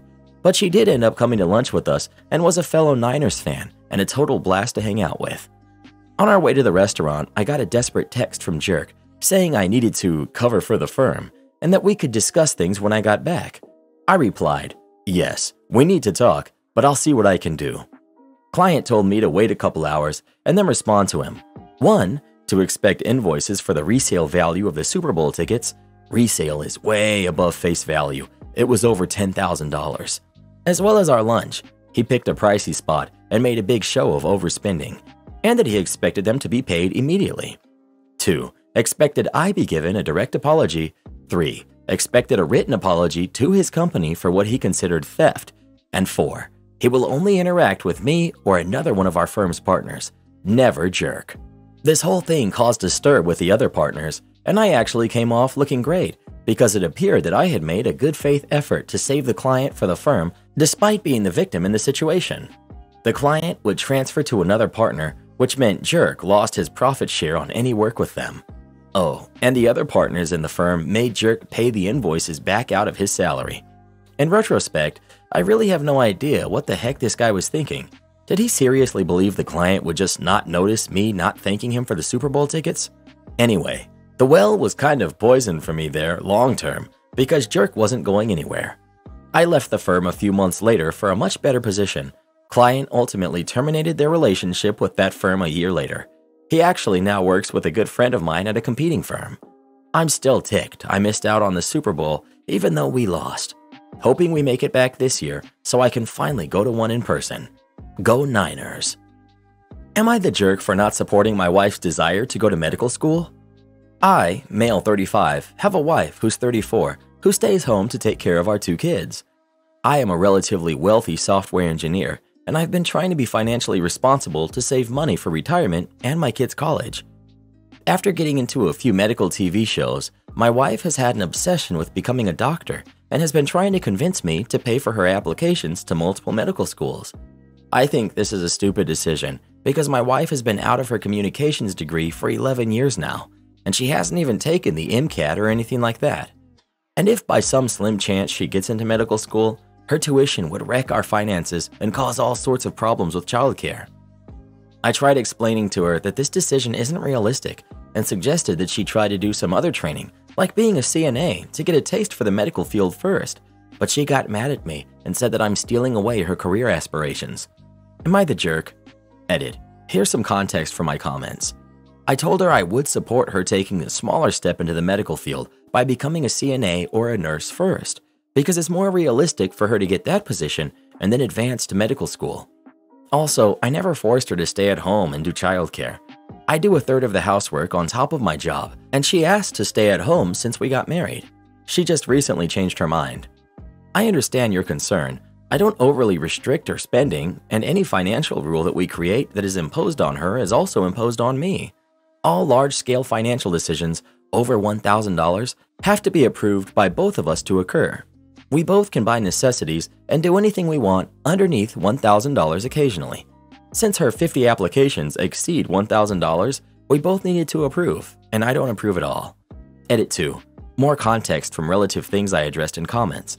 Additionally, my wife is refusing to take the MCAT, despite my encouragement to do so first, because she thinks studying for it will slow down her timeline. And to those who are suggesting I agree to let her apply to fewer schools, she does not like that compromise. She insists she has to maximize her chances by applying to at least 50. She also doesn't like the compromise I offered of trying another medical career first, like nursing. Not the jerk. Retired nurse here. Ask her if she would apply to nursing school. If she has her bachelor's degree, any field as long as it's a bachelor's degree, she can apply for a 16 month accelerated RN bachelor's program. She can always pursue more advanced degrees if she chooses. She'll soon see how television programs in no way ever reflect reality. There's a huge demand for nurses, but again, she will quickly realize why there's so many positions available. Am I the jerk for yelling at my brother and kicking him out of my house? I'm 28, female, and my brother, who's 33, and I have a difficult relationship, all because I started dating his best friend, 34, male, 8 years ago, and for him, that was an unforgivable betrayal. And I know that to this day, he still thinks the same. That's why our relationship is almost non existent now. I apologized thousands of times for falling in love with his best friend and for not having been able to fall in love with someone else, but he never forgave me. We only see each other at family parties, and that's it. He didn't attend our wedding and didn't want to meet our kids, who are 6, 4, and 2, when they were born either, so you can imagine how much he hates me. A few days ago, we celebrated our mom's 62nd birthday at my house because hers was being renovated.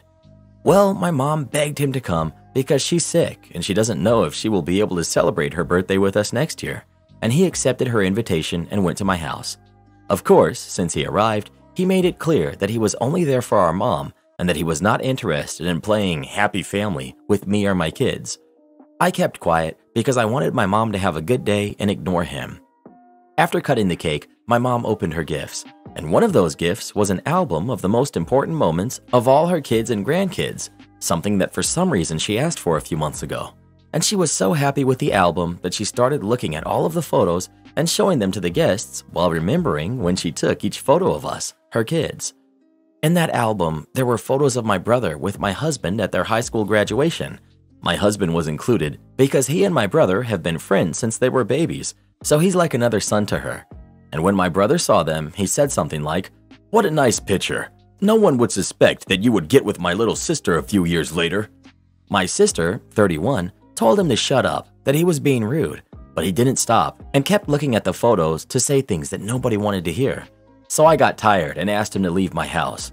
I told him that he was being rude and inconsiderate with our mother, that I didn't want him there. And of course, he stormed off and now he thinks that the villain of the movie is me. And the worst thing is that one of our sisters, who's 36, thinks the same thing because she thinks that I should have kept quiet since it's my fault that he's like that. Am I the jerk? Edit. I don't know if my brother wishes he was the one with my husband. But the truth is that I suspected it many times when I saw how affectionate he was with my husband. Like, my husband had a few girlfriends before me, and my brother hated all of them.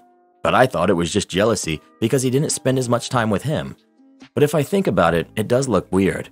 He's in his 30s, and he only ever had a girlfriend when he was 12 or 13. He was always possessive of my husband and overly affectionate, which my husband always hated. So maybe it's true.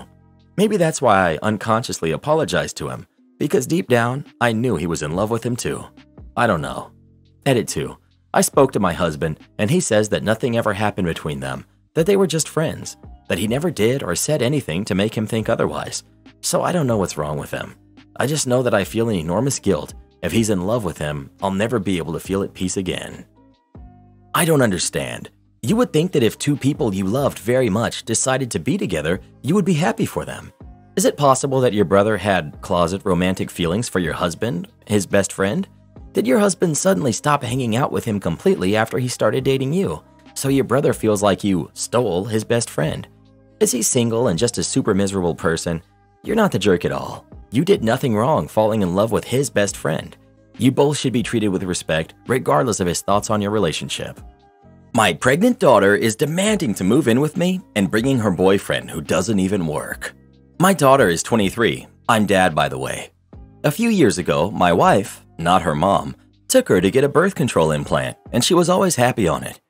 Fast forward about a year, and she meets a guy, he's 28, online, and falls in love. He lives in another state. She quickly started talking about how they both want to get married and both want to have kids. About three months before her trip to meet him in person, she told me she had gotten her implant out and switched to the pill because she doesn't like the implant anymore. This kind of raised my eyebrow. So I talked to her we go over how important it is to take the pill properly every day, and we talk about other birth control options, she said on the pill. I also went over the cost of kids and the amount of work and responsibility babies are with her. Part of my concern here is that her mother openly admits she stopped taking her pills and intentionally got pregnant so I would marry her. I did, and we are divorced now. I also told her that I love my kids and raising them, but I had no interest in raising theirs. I'm enjoying retirement I have a 10 and an 8 year old with my wife. Well, lo and behold, she gets pregnant on her trip. Boyfriend is not financially stable and is in another state, and due to morning sickness, she's been missing a lot of work. She's intent on keeping the baby. She called last night and asked if she and her boyfriend could come live with me so he could move here and find a job. He doesn't have any significant work history or education and is morbidly obese, which causes him a lot of health problems, so currently he's on disability and they would save up money and be out before the baby is born. Also, note her mom does not have room at her house. I said no. My daughter has a history of not following through on her commitments, and I know that she won't actually move out before she has the baby, and probably not for a long while after. She has trouble taking responsibility for herself, and I'm guessing we'll be the ones dealing with the baby mostly. We currently have a cat she adopted and then didn't want because she wouldn't clean its box, so it went to the bathroom everywhere. On top of that, I don't want this man that I don't know and she barely knows in my home with my kids. So now he's flying up here so they can find a place together. She currently rents a room in a party house. I told her I would help her with the deposit and first month's rent, but if they wanted to go play house, I wasn't going to fund it, so don't expect me to pay when they can't. Now she's upset with me. Her mom has chewed me up one side and down the other for not supporting her. Am I the jerk? You're the jerk. We really need to normalize the fact that as parents, it's your duty to ensure your kid is taken care of, no matter how old they are. Not only are you extremely judgmental of your daughter's life, but now you flat out refuse to help her in her time of need. You sound like a deadbeat dad to me, and honestly, you don't even deserve your daughter. She deserves so much better, and it's a shame you're not man enough to step up to the plate and be an actual father. I didn't even show up at my own dad's funeral because he was also a judgmental jerk that always had an opinion and couldn't keep his mouth shut. Don't be surprised when your daughter doesn't show up at yours or even make a post on social media about it. It's weird to me that a parent is trying to control and question a grown woman's decision to be on birth control. Honestly, just help as much as you can, and in a few years, you'll love your grandchild, and it'll be time for them all to be gone after some extra time to figure it out. You'll be sad, but happy it happened. Besides, you're not retired yet with the other kids at home. I mean, I could go either way here. Do I think I would want you as my parent? No way. Are you within your rights? Sure. Are you a good person? No comment. You're the jerk. Look, that's your daughter. Love her unconditionally like she loves you. She fell in love because she's young and bought into his love bombing. She made a mistake that will one day result in your greatest joy, a grandchild. Will you tell this grandbaby I didn't want you, so I made it harder on your mom to even keep you? You're a dad, and you don't have to agree with her choices. Your only job as a parent is to watch her fall and have her back to stand back up tall. Not the jerk. Stories like this make me so glad I never had kids. You can try as hard as you want to raise your kid to be a responsible person with a good head on their shoulders, but they can still end up being a complete jerk like your daughter. Then you're the one who's expected to take responsibility for their poor actions. The reason all these idiots are calling you the jerk is because in their own lives, they're the ones in your daughter's position. They're the ones who are losers and expecting their parents to baby them well into adulthood. I'm really sorry she turned out to be such a moron, but good luck on your other two. I hope they don't turn out to be miserable shut ins like most of these losers here on Reddit. Well, who do you think is the jerk? OP or his daughter? Please let us know. I hope each and every commenter who's calling him a bad dad are in the exact same position he's in one day. Actually, I don't. That would just be increasing the population of stupid people. No, you don't understand. I really would not do that if I were you. I work in a union shop, and I've been a shop steward for most of my 25 plus year career.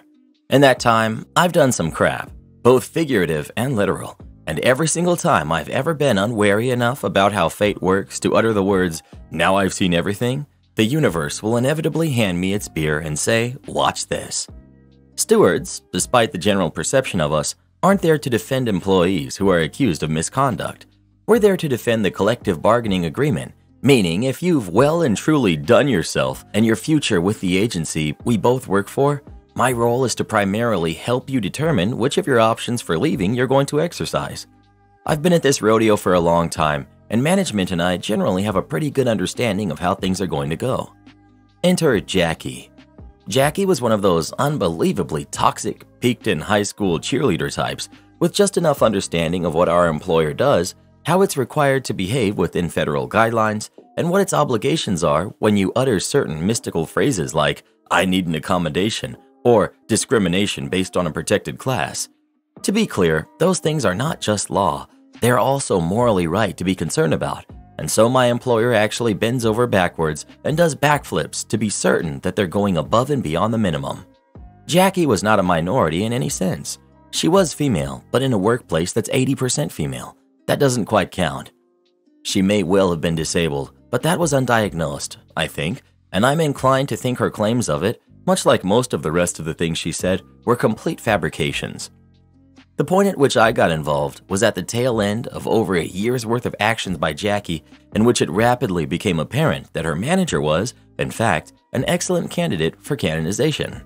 I got referred to her when one of my other union friends contacted me and said, Hey, Jackie, so and so just got put on administrative leave, and it's total BS. Can you help?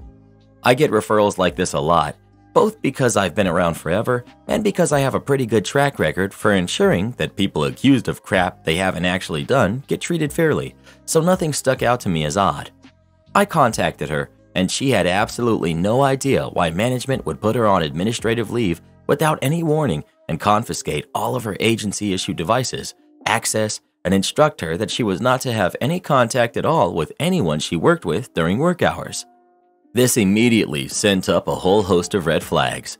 For one thing, I know the senior HR guy that is the HR analyst boss who's involved, having been down the road of different situation, but this is what we can do to negotiate with him many, many times over the years. I don't always agree with him, but he's fair, and usually we can come to some sort of middle ground. At any rate, he would never suspend someone out of the blue without a really, really good reason. She knows what she's done. She has to. So I gave her my usual spiel of things to do and things you should not do. Don't tell me or our employer things that aren't true, especially if you think it'll make you look bad if you don't. Don't talk to your coworkers. Don't talk to your friends about this, particularly because you live in a town of under 2,000 people. Everyone knows everything about everyone else. Do not talk with management or HR without me present, period.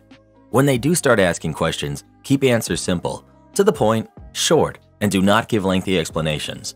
Tell them what they want to know, and otherwise, shut up. I've been here and done this many times. I know this process very well. I can't tell you what they're going to do, but I can tell you what I think they're going to do, and I'm usually either right or pretty close to being right. I have been surprised. Nearly three weeks went by of radio silence from the agency. Other than a bland sort of, we want to talk with Jackie about utilization of work assignments, tasks, and equipment. Email that tells you almost nothing while still being literally true. Finally, it was go time for a meeting, and I did something I haven't done in a really long time. I physically drove to Jackie's worksite instead of attending virtually, over an hour and a half each way. What the heck? The weather was nice. We met ahead of going in, and I asked her if she remembered the rules I gave her at the beginning. She said she did. I asked her if she'd been following them, and she said she'd been very careful to. Swell. In we go. During the meeting, it was almost immediately obvious to me from the questions they started asking that Jackie was in serious, serious trouble. Not like written warning or pay reduction. No, they were going to go for termination, and she was probably going to be very lucky if they decided not to refer it to the DA for criminal prosecution. An abbreviated summary are just the high points. Jackie had hundreds of confidential documents and electronic files in her personal possession, many of which fall squarely under HIPAA. She had emailed these out of the government system to one of the four or five personal email addresses she maintains. Her explanation for this was questionable. Jackie had logged overtime without permission, a lot, and on one memorable date, when she was vacationing in Europe with her family at the time, she said she had called in to attend a meeting but didn't have an answer why that meeting had apparently been 11 and a half hours long and nobody remembered her attending by phone. Jackie had audio recordings of disabled and elderly people with whom she was working that she had taken without their consent or knowledge, a lot of them.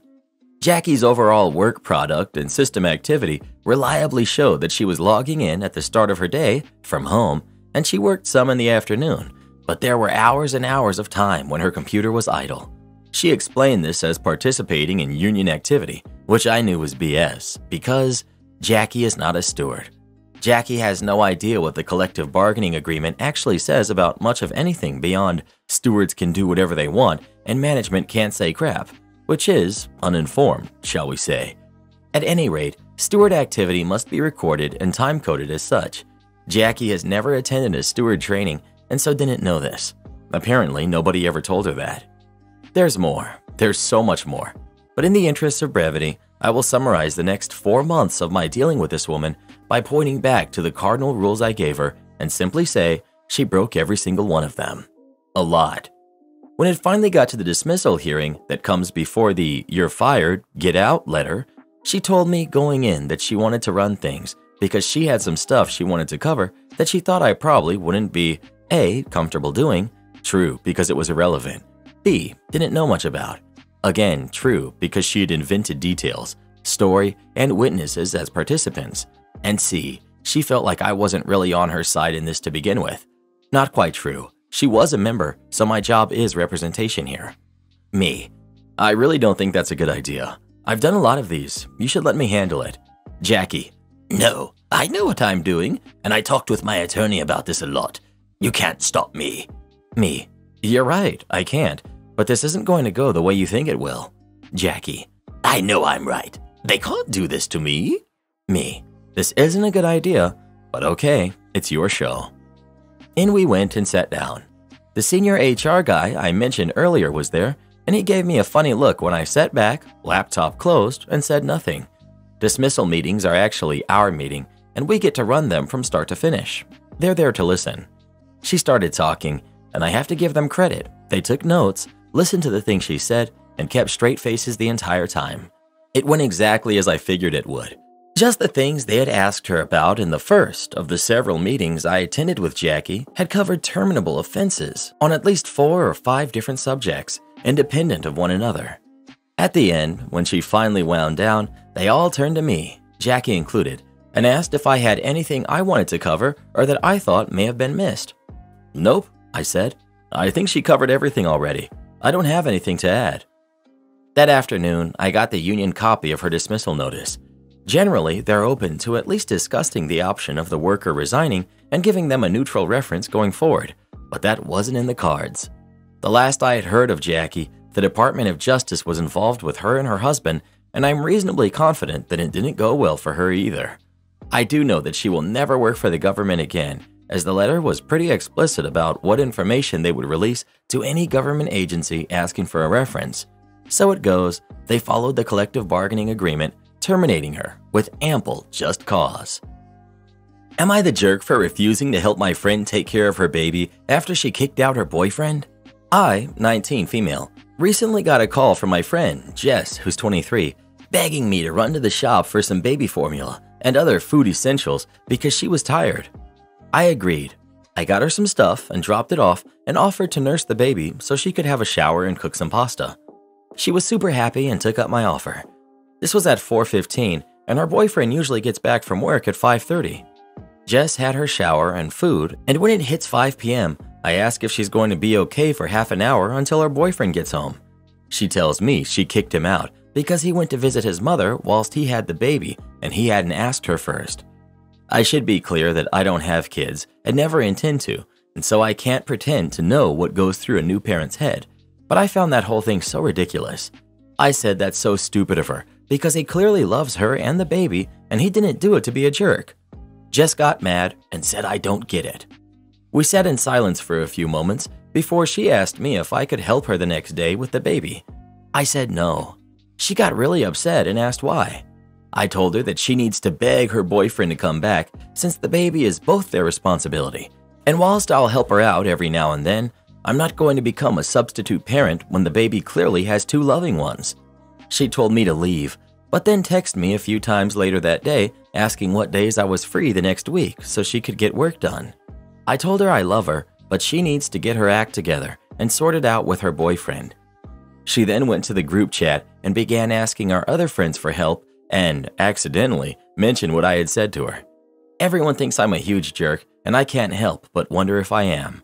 I want to be clear Jess' only qualms are that he went to visit his parents when he had the baby, and that he didn't ask her for permission first because she was asleep.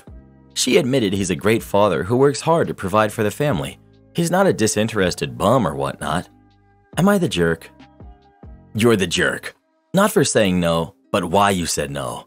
She just had a whole baby.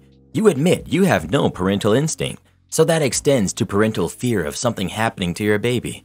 You should never assume you know what's happening behind closed doors. She's allowed to have boundaries. You don't know what conversations she's had with her boyfriend about their in laws. It's not your place to judge her. Not the jerk for not wanting to take care of someone else's kid, but you should probably have been a lot less judgmental when she told you she kicked her boyfriend out and telling her she needs to get him to come back was definitely way out of line. Her relationship, or lack thereof, is really none of your concern, and for all you know, maybe they had major issues behind closed doors. You're the jerk. You're not an actual friend, so stop calling yourself that. Real friends are there for their friends when they need them. Real friends don't abandon others in their time of need. If you cared about her, even just a bit, then you'd have no problem helping with the baby. You expect her to stay with a guy she's clearly not happy with? What kind of a sociopath are you? It's 2023, and we in no way, shape, or form have to stay with guys we aren't happy with. People complain about how high divorce rate is now. Well, guess what? It's because we stopped settling for guys that suck and don't treat us right. Guys get mad when we say things like, Where have all the good guys gone? But the truth is that there just aren't any more of them. All the hot guys will just hook up with us whenever they want to, but the ones who will settle down with us are just average looking, or usually worse. Nobody wants to be stuck with an average looking guy who probably doesn't even make much money. Well, who do you think is the jerk? OP or her friend?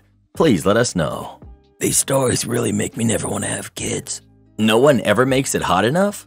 Okay then, you asked for it. I used to be a chef in a Mexican restaurant in a small town in Australia nearly 40 years ago. We were modestly popular and I loved working there. One night, a young man came in to dine with a young lady. It was very obviously a first date. They ordered a nachos to share with a side of jalapenos for their entree, and he ordered a steak Veracruz, hot, for his main, and the young lady ordered a chicken burrito, mild, for hers. I, as I usually did throughout the night, would walk around the tables and ask if people were enjoying the food. After the nachos, I checked on them, and the young man informed me that the chili that accompanied the nachos were not hot at all, and that he loved hot food. I was informed that he had traveled extensively and had eaten some of the hottest foods in the world, and that no one had ever made a dish too hot for him. He reiterated that he wanted his steak main extra hot. To be honest, I found him to be pompous and rather obnoxious in the way he was speaking down to me and found myself taking a disliking to him. I will add at this point that the young lady was looking a little uncomfortable, and I got the impression her date was not going as she had expected. I headed to the kitchen. I made her a lovely chicken burrito while putting together his steak. He wanted it hot? He was going to get it. Our steak Veracruz was usually a steak cooked and topped with our house tomato sauce base with some bell peppers and onions with a touch of chili. On this occasion, I set to work. Keep in mind, this was Australia back in the 80s, and we did not get a lot of different chilies back then, and a jalapeno was considered hot by most Aussie palates. Hey, we were an uneducated bunch. I had a few bird's eye chilies in the kitchen that were mainly there for the staff and the resident Mexican guitarist meals, so I started with those. I finally diced about 10 of those with their seeds. I then threw in the chilies, and then I added about a tablespoon of chili powder and about a tablespoon of cayenne. I soon felt the fumes hit my nose and the back of my throat, and my eyes started watering. I ran to the door of the kitchen to get a breath of breathable air as the air in my tiny kitchen was rapidly becoming unbreathable. I ran back to my pan and put a ladle of the house tomato sauce in. I then let that simmer for a few minutes. I then added some chopped up jalapenos from a jar in my fridge and thought, why not? And in went a bit more chili powder. I then put the flash fried steak in to finish it off in the sauce. I served it all up on a plate with some rice, served up the chicken burrito, and hit the bell for the waitress to serve it to the table. The waitress came back and told me that as she placed it in front of him, he said, This had better be hot. She assured him the chef had done as he requested. I went to the door of the kitchen, joined by my waitress, to watch the show unfold, and unfold it did. I watched with glee as he sliced the steak, took a piece of his fork, and with a smug look on his face, he put it in his mouth. He took a chew and then realized his mistake. I saw it. That moment when his face changed, but he was trying so hard not to show it. He couldn't. He was on a date and he had bragged so hard, and now he had to go through with it. He ate the steak. I could see every ounce of pain on his face. He struggled. He struggled hard. His date watched him with a slight smile on her lips, and I got the impression that she was thoroughly enjoying his pain. He went through several jugs of water. He sweated. He barely spoke. He looked really uncomfortable. At the end of the meal, I came out of the kitchen and asked him if he had enjoyed his meal. His words? Could have been hotter. He never came back. His date? She became a regular and told us he was an insufferable fool and she never saw him again. I have no regrets other than I wish Carolina Reapers had been around back then. No, I said okay. A few years ago, I was moving my business to a new location that needed six months to be built out. I informed our current alarm company a few months before the move that we'd be moving services, which for whatever reason they couldn't do. I had to open a new site on the account, and then I could close the old when after the move. Sure, that's fine. They got all the details and sold me the newer system that would be connected to the internet so I could monitor it from my phone. Sounds great so they told me that they could install it next week, but I had to have the internet set up and running before they could do it. I informed them the phone lines and internet would not be installed until later as I didn't want to pay for services we were not using, and I would let them know when that was installed so that they could come out for their install. Everything satisfied, the call was complete. A few days later, I started getting weekly phone calls from their installers telling me that they were on their way to the new site to do the install. To which I had to go through the explanation of the internet won't be installed until later and that I would call them and let them know when that was done. Each time they said, Oh, okay, sounds good, we'll wait to hear from you. But then the following week, it would repeat again. On the sixth week, I got the same weekly call from the alarm company installer. Hi, this is Jim. Just letting you know we'll be at your site in about 30 minutes to do the install. So this time I said, okay. We hung up and I went back to work which was happening at our current location. No workers or work was happening at the new site on this day. About 30 minutes later, I got a call from Jim saying the doors are locked and nobody's answering. I said, I know, nobody's there today, and the internet won't be installed until next month anyway. At this point, he starts getting agitated with me and asked why I scheduled an install for today and why I told him I'd be there when he called. I explained, I didn't. You said you'd be there in 30 minutes. I said okay. Amazingly, the calls stopped and I called them a couple weeks before the move and they came out and installed just fine. Wanted to answer a few questions asked in the comments as I tried to keep the story concise so it didn't drag on. Yes, the company was ADT. The contract didn't start until they did the install, and install was free, so I wasn't paying for the install.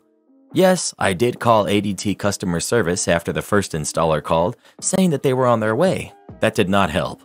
Besides letting the installer come out, I was never rude to or angry with them since I knew it wasn't their fault, and I explained the situation just like I'd done the first five times. They just got caught up in the game. And I need to give credit to my uncle for this solution, as this was applied learning. He did something very similar to his sister a long time ago, and this story became a legend in my family. I've used it many times. Am I the jerk for getting my son's ex better food than him? My son lives with me, which is fine. He's 35, but I have a big house and I appreciate the company and occasional help around the house. Previously, he lived with his ex girlfriend, Kira, who he had two kids with. I love my grandsons and was very blessed that even from pregnancy, that Kira let me be very involved as her mother had passed when she was very young and she doesn't have much family as she bounced around the foster system. Early on, even before the kids, we became close and I viewed her as a daughter, which my son encouraged. Last year, while Kira was pregnant with their second, they split up. My son blames Kira, but I know from living with him and being a close support that it is at best 50 50. Once they split, my son decided he didn't want anything to do with Kira or the kids, and his previously encouraged and embraced view of our friendship turned, and he wanted me to have nothing to do with Kira or the kids. I told him no. I was going to continue to be a big part of my grandkids and Kira's life. This has caused some friction, but we mostly operate on a don't ask, don't tell. Once a week, I go to Kira's to see the kids, usually after I go grocery shopping. My son always gives me a list of what he wants, and then I get that, plus what I want and what I use to cook for us during the week. I do all the cooking for me and my son, but he often doesn't eat my food and opts for the ready made stuff he asks me to get him instead if that matters. And I always ask Kira if she needs anything. She usually says no, but I still always bring some fruits and veggies. She likes the same food I do, so I also will sometimes bring her part of what I get for myself if I know it's too much for me to eat during the week. An example is salmon. My son hates fish, but Kira and the kids love it, so I'll get a big one and portion it at Kira's and then bring home what I will eat for myself. Friday, my son saw the receipt from the groceries and was irate at how much the salmon cost for the amount I got. I told him the truth that I gave two thirds of the salmon to Kira. He blew up and demanded I stop buying her groceries, or if I continue, he wants the same amount spent on him.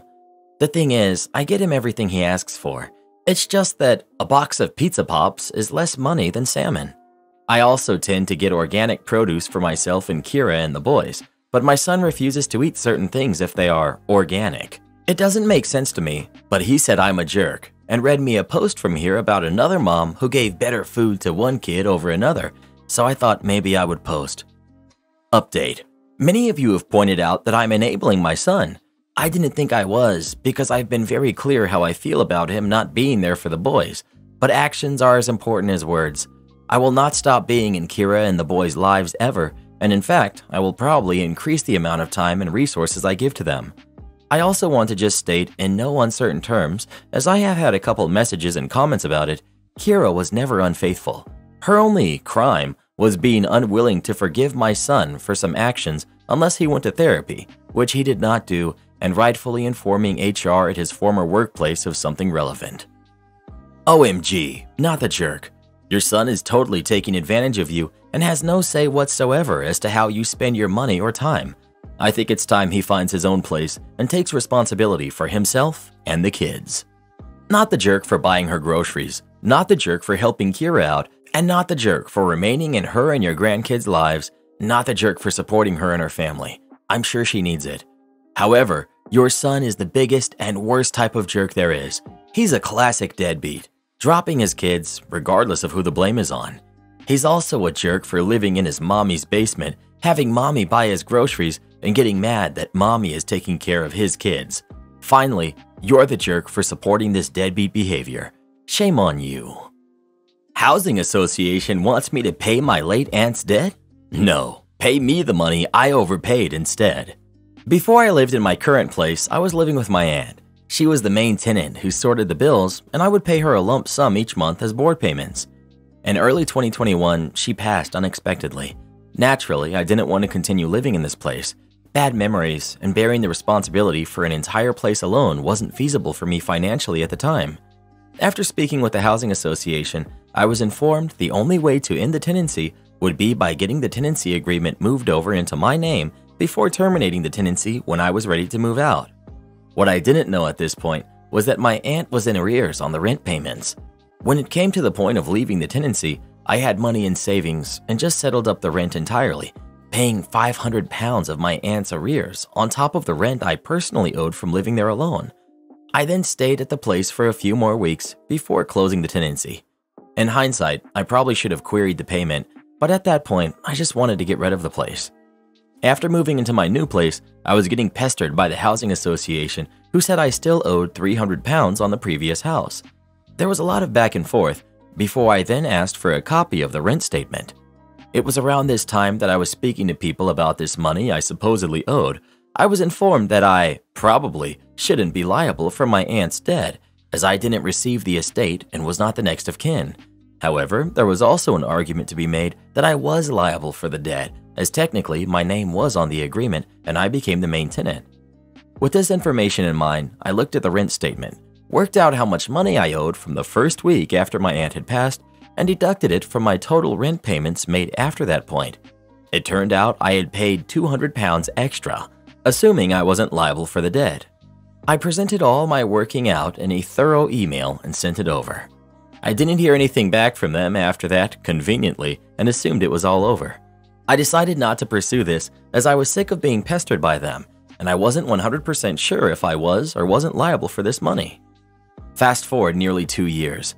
I receive a letter last month just before Christmas stating that I still owed this 300 pounds and that it would be sent to debt collectors if nothing was done. At this point, I was upset. I spoke to someone who was able to tell me for sure that I'm not liable for the debt in this particular situation, so I sent a firmly written email detailing how I don't owe this money, but in fact, they owed me, provided all of the evidence, and threatened small claims if the situation wasn't rectified soon. It took weeks of me pestering them via phone calls and emails for me to get in contact with a lovely woman who apologized on behalf of the company on how I was treated. She then got the ball rolling, and eventually my 200 pound refund cleared the other day. This was a particularly satisfying end, because if they would have just left it, I wouldn't have chased it up and they would be 200 pounds better off. What a shame. Parents told my brother that he could take my house and I could just live in the camper in the backyard. I'm a single man in my early 30s. I've got a brother who's 29 and he's already got four kids now. He had his first at 22 and his second followed a year later. Then the third two years after that, and the fourth is the most recently born a couple months ago. His wife, my sister in law, and I do not get along as she always likes to try and get a rise out of me by acting superior, then turns into an extreme self victimizing drama queen if I retaliate against her in any way. She can cry in an instant and can put on an extremely convincing show to get sympathy from just about anyone. My parents and brother absolutely adore her, even though they know exactly how she really is and just don't care. She's very good looking, I'll give her that, but she's so awful that I could never be attracted to her. She also refuses to get any sort of job, even though she has a college degree, and my mother willingly helps with the kids all day. So their finances are entirely dependent on my brother.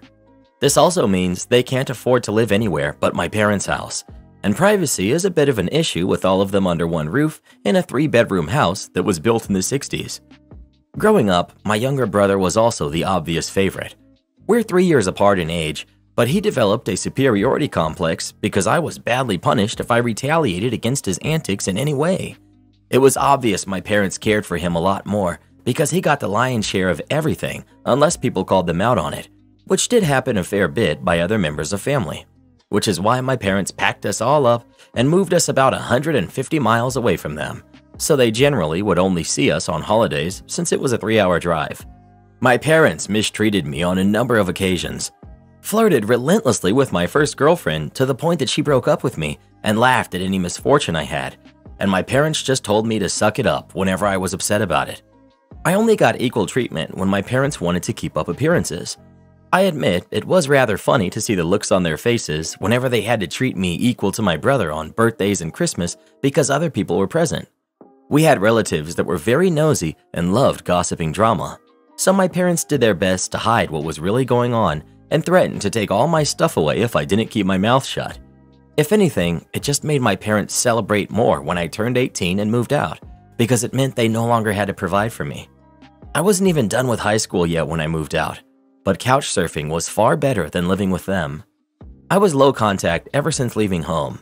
They didn't even show up for my high school graduation, but I really don't care. From that point on, I would usually only see my parents and my brother on holidays, like the rest of the family. The start of 2020 lockdown was not kind to me. I lost my job and couldn't renew the lease on my condo because my roommate also lost his job, and neither of us could really afford the place on unemployment money.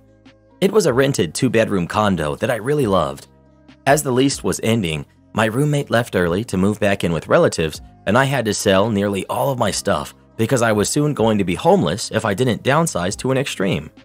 I really shouldn't have rented a place that was so expensive, but I liked living the high life until that life wasn't kind to me. And I realized I should have been living somewhere far cheaper so I could have saved more money to fall back on. But I had a plan. I own a truck simply for the fact that I've always loved trucks. So I found a $1,000 camper in good shape and put it on my truck just so I could live out of it for a while. It was supposed to be temporary, but I ended up living out of it far longer than I ever thought. I originally was hoping to be able to live out of the camper at my parents' house, where my brother and his family still reside as well. But when I asked my parents to let me stay for a while, they told me they had a full house and didn't want me there. Plus, we hadn't exactly gotten along in the past decade. They said they'd only agree to let me park my camper there if I paid them basically what it would cost to rent an apartment in my area. That was way too much just to park my camper. I was jobless and trying to save as much of my unemployment money as I could until I found a new job. I may as well be living in an apartment with the rent price they were asking. My parents called my camper an eyesore and told me to take a hike since we couldn't come to an agreement and sister in law thought it was absolutely hilarious I had to live in a camper. My brother joined her in pointing at and mocking me while calling me a homeless bum. I parked my truck and camper in a store parking lot to sleep on the first night that I had nowhere else to go. I felt scared out of my mind that someone might try to break in. Suffice to say, I didn't sleep well that night. There was nowhere else I could go, as any other relatives that owned houses were fairly far away, and all of my friends were all apartment people and I was pretty attached to my area as well, so I didn't want to just leave. I'd also had my mail forwarded to a friend's apartment. It was the only way I could still get my mail anymore. Finding a stable place to park was pretty difficult. I went looking around to try and find a job similar to my old one. It took months of living the nomadic camper life. In that time, I had to deal with a lot. Everything from beggars and addicts to people demanding I leave because my camper was an eyesore. At one point, someone who told me to move claimed to be with an HOA. I wasn't even parked on a street with houses, and when I questioned, what HOA, they got incredibly belligerent and threatened me. I moved my camper anyway just to avoid the trouble. In order to have a steady supply of electricity, I learned to use a long extension cord to plug it in anywhere I could to recharge my camper batteries. This meant sneaking around and plugging it into an outside outlet of a random building while parked on a street. I know that's a crummy thing to do, but I had to keep my batteries charged so my refrigerator would stay cold. I had a small solar power bank for recharging my phone, but I didn't have anything like a generator, and generators are noisy and require fuel anyway, so I did what I had to do. After months of living like that, I finally managed to get a new job. I had to move to the neighboring city to find a job that didn't involve retail. I worked retail while in college and promised myself never again, though I was nearly ready to break that promise. I was still getting unemployment money, but I had no stable place to live while receiving it. And I didn't want to still be jobless when it ran out. Plus, I was bored out of my mind. I had little else to do but read, watch movies on a small portable DVD player, use my phone or laptop, and keep note of where I could park and what local public bathrooms I could use. I kind of envy that the Japanese have public bathhouses. We could really use stuff like that over here. When I finally landed a new job, I practically lived in the back lot of the building by the warehouse in old employee parking spaces that literally no one else seemed to bother using because they were so far in the back that the area was borderline forgotten. My boss and company owner actually liked this arrangement because I was willingly available to take any shift I could get, so long as I had enough sleep. He even let me take the camper off my truck and set it up in one of the spaces so I could drive around without it. Not exactly sure if this was legal, but no one bothered us about it. The entire time I lived back there, I didn't have to deal with many trespassers. There were a few, but the security guards escorted them out. I was pretty much on call almost all the time when they needed me and was working virtually every day of the week. My boss let me plug my camper into the building for power and water, and I paid a small amount of rent by working for free on Sundays when no one else was in the office but the janitor and security guard. Beyond that, I usually had to shower at a friend's apartment or at my local gym, as the camper didn't have a shower in it and only a portable toilet. And I didn't want to fill it because emptying it is a nasty chore. So I used other bathrooms as often as I could. I had a key to the warehouse and could go in to use the bathroom there at any hour. I was even on a first name basis with the night security guard. He's since become one of my closest friends. The camper was easy to heat in the winter with a small electric heater. Summers were not fun though. The camper didn't have AC, so I had to get a used portable air conditioner just to make it bearable. I made a lot of overtime pay and hands on learned some new skills from other employees. Eventually, midway into this year, I landed a better position in the company as a supervisor and started making a better salary than my old job. That's when I decided I wanted a house. The scare I'd gotten from losing my condo made me realize I needed something much more stable for the long term. I looked around for something close to my work and just two miles away found a three bedroom manufactured home on a small property. But I managed to get it for $10,000 less than the asking price somehow. I used nearly my entire savings for a down payment and got approved for a home loan. I finally didn't have to live in a camper anymore. There was enough space for me to back my truck in behind the house to take the camper off of it to set it up in the backyard. So I put it there as its own little building just in case I want to use it again. When I was fully settled in the house, I was dumb enough to brag about it on the Book of Faces. My family saw the post, and that's where this crap really starts. After a few weeks, my parents and brother, along with his family, come to visit completely unannounced to have a tour of my home. I didn't even give them my address, so how they found out where I live, I still don't know. None of my friends have fessed up, and no prior family members visited me before that. So I wonder if they stalked me at work and followed me home or something. It really wouldn't surprise me. Once I opened the door, they practically all shoved their way in like rambunctious tourists. Then they just started making themselves at home. They all kept poking around, and sister in law had this creepy smirk that she was repeatedly showing me. And it was only later that I figured out why and it made me madder than a bull that just got stung by a hornet. My parents were constantly talking about how I've got so much extra space now, and it's too much for someone like me who has no wife or kids. Sure, not now, but maybe someday. And my brother kept remarking about how there was more space here than at our parents' house, and how my house was closer to his job, too. Red flags all around, I know. Eventually, my brother asked me to speak privately. Everyone else suddenly left the room and piled out onto the front porch. That's what finally made me realize they had planned something.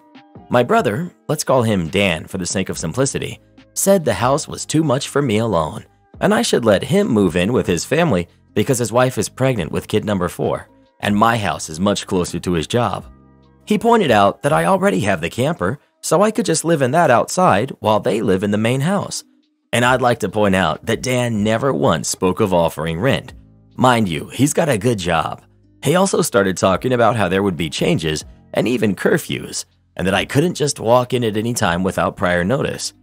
If it weren't my brother, I'd think the person I was talking to had lost their mind. But Dan lost his marbles long ago thanks to our parents treating him like he was the center of the world. I tried to speak, but he kept talking over me as if I had no say in the matter. There was no way on earth I'd rent my house or parts of my house to him. Other people, maybe, just so that I can pay the mortgage off more easily, but certainly not him or his nasty wife.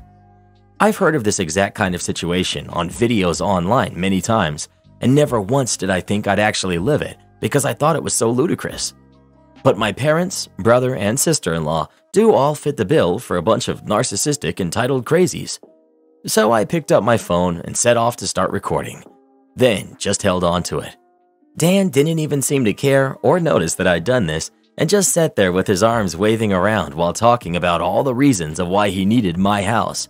Then went from saying that to acting like it was a done deal and trying to reach out his hand to shake mine. That's when I finally showed my backbone and said, Oh no. And I said it loud enough that Dan stumbled backwards for a second. I'd rarely ever raised my voice to him on that level because I was punished by our parents whenever I did. But this was my house, not theirs. My spine can be as shiny as it wants here. I stood up and then told him that my house was not up for grabs, and acting like I'll let him move in just because they want it won't make it happen. I bought my house for me, and it's not my fault he keeps having more kids and has to keep living with our parents because he can't afford to move out. Dan got as physically close to me as he could without actually touching me and said that I didn't deserve the house and he needed a better place for his family to live. I laughed back in his face and said that was total BS because I worked hard to be able to buy my house. Of course I deserved it.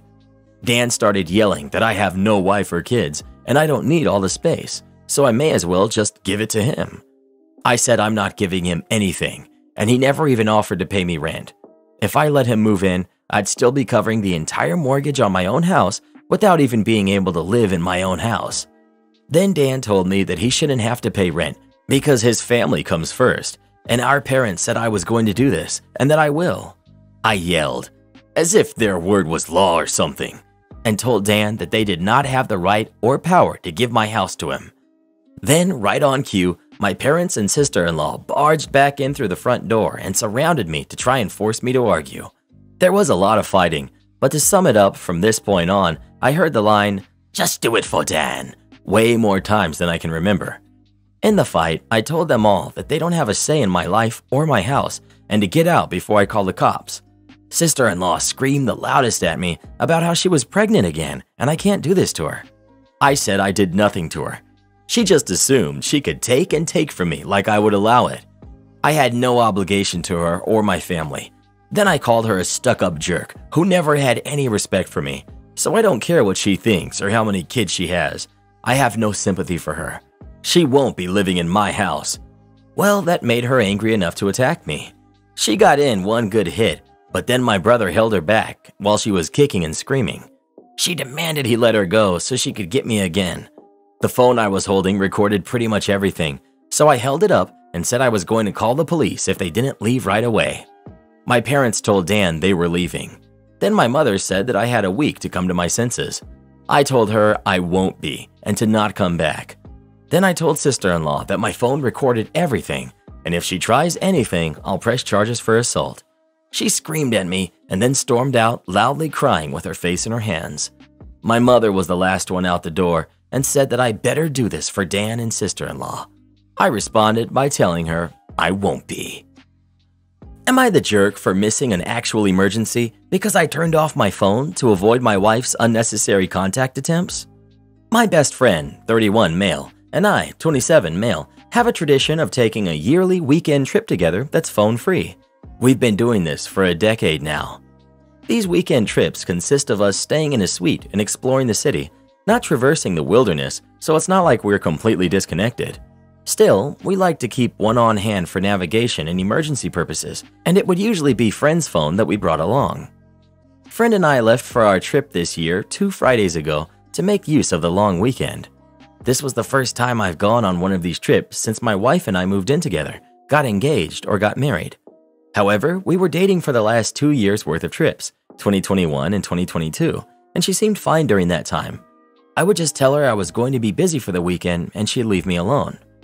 I understand that there are different expectations once you get married, but I didn't expect for the 180 in behavior.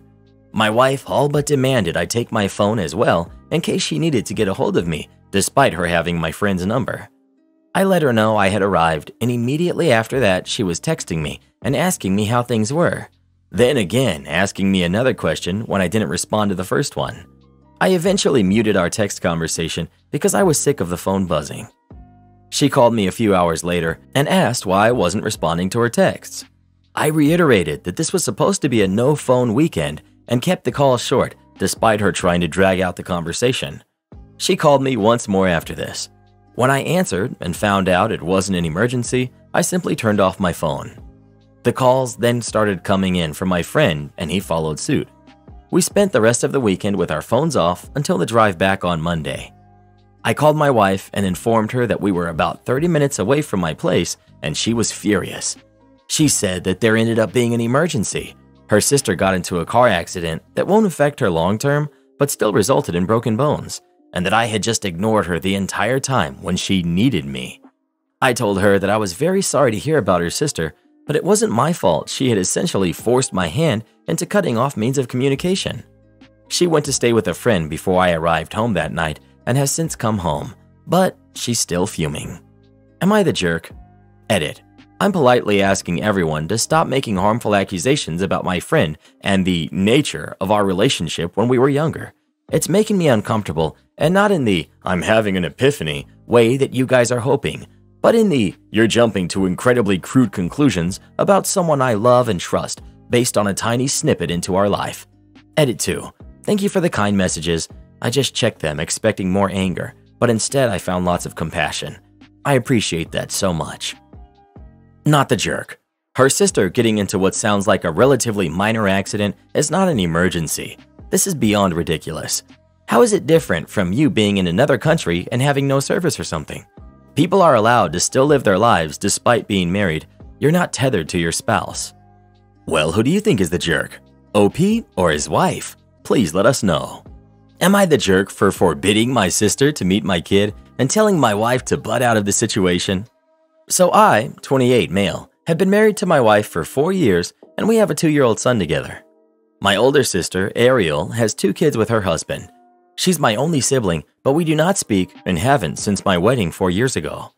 My wife knew I had no relationship with my sister or mother whenever we got together, but now it's causing an argument. We were a pretty typical family until my mom cheated my senior year of high school with a coworker. My dad moved out immediately and I moved with him. This caused the rift between me and my sister. My sister believed since my mom was sorry and it was a one time thing, as she claimed, which I don't for a second believe, and was trying to reconcile through the church that me and my dad's refusal to speak with her was somehow wrong.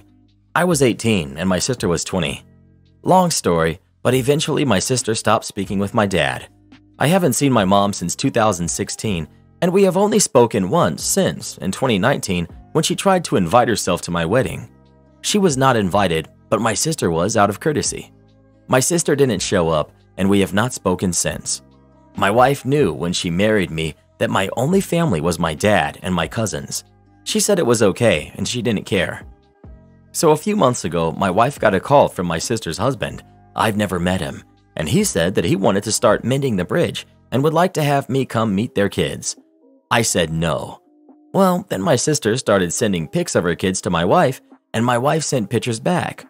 I told her multiple times I do not like this, and she told me she could send pics to whoever she wants. I said that if she keeps testing my boundaries, she will be a single parent really soon. That she signed up for me as is. My wife is saying it's wrong to deprive my son of his family. I said I don't even have a relationship with my sister or brother in law, so why should my kid? That doesn't make me feel comfortable at all, and I don't even know these people. Also, any pic she sends could easily be forwarded to my mom, and she needed to think about that. She said she doesn't even understand why my mom can't meet her kid, and that comment alone ticked me off because I've explained my whole family drama for years and it feels like she just ignored it. I said she really needs to think about who she wants to appease because I'm not going to stand for disrespect of my boundaries.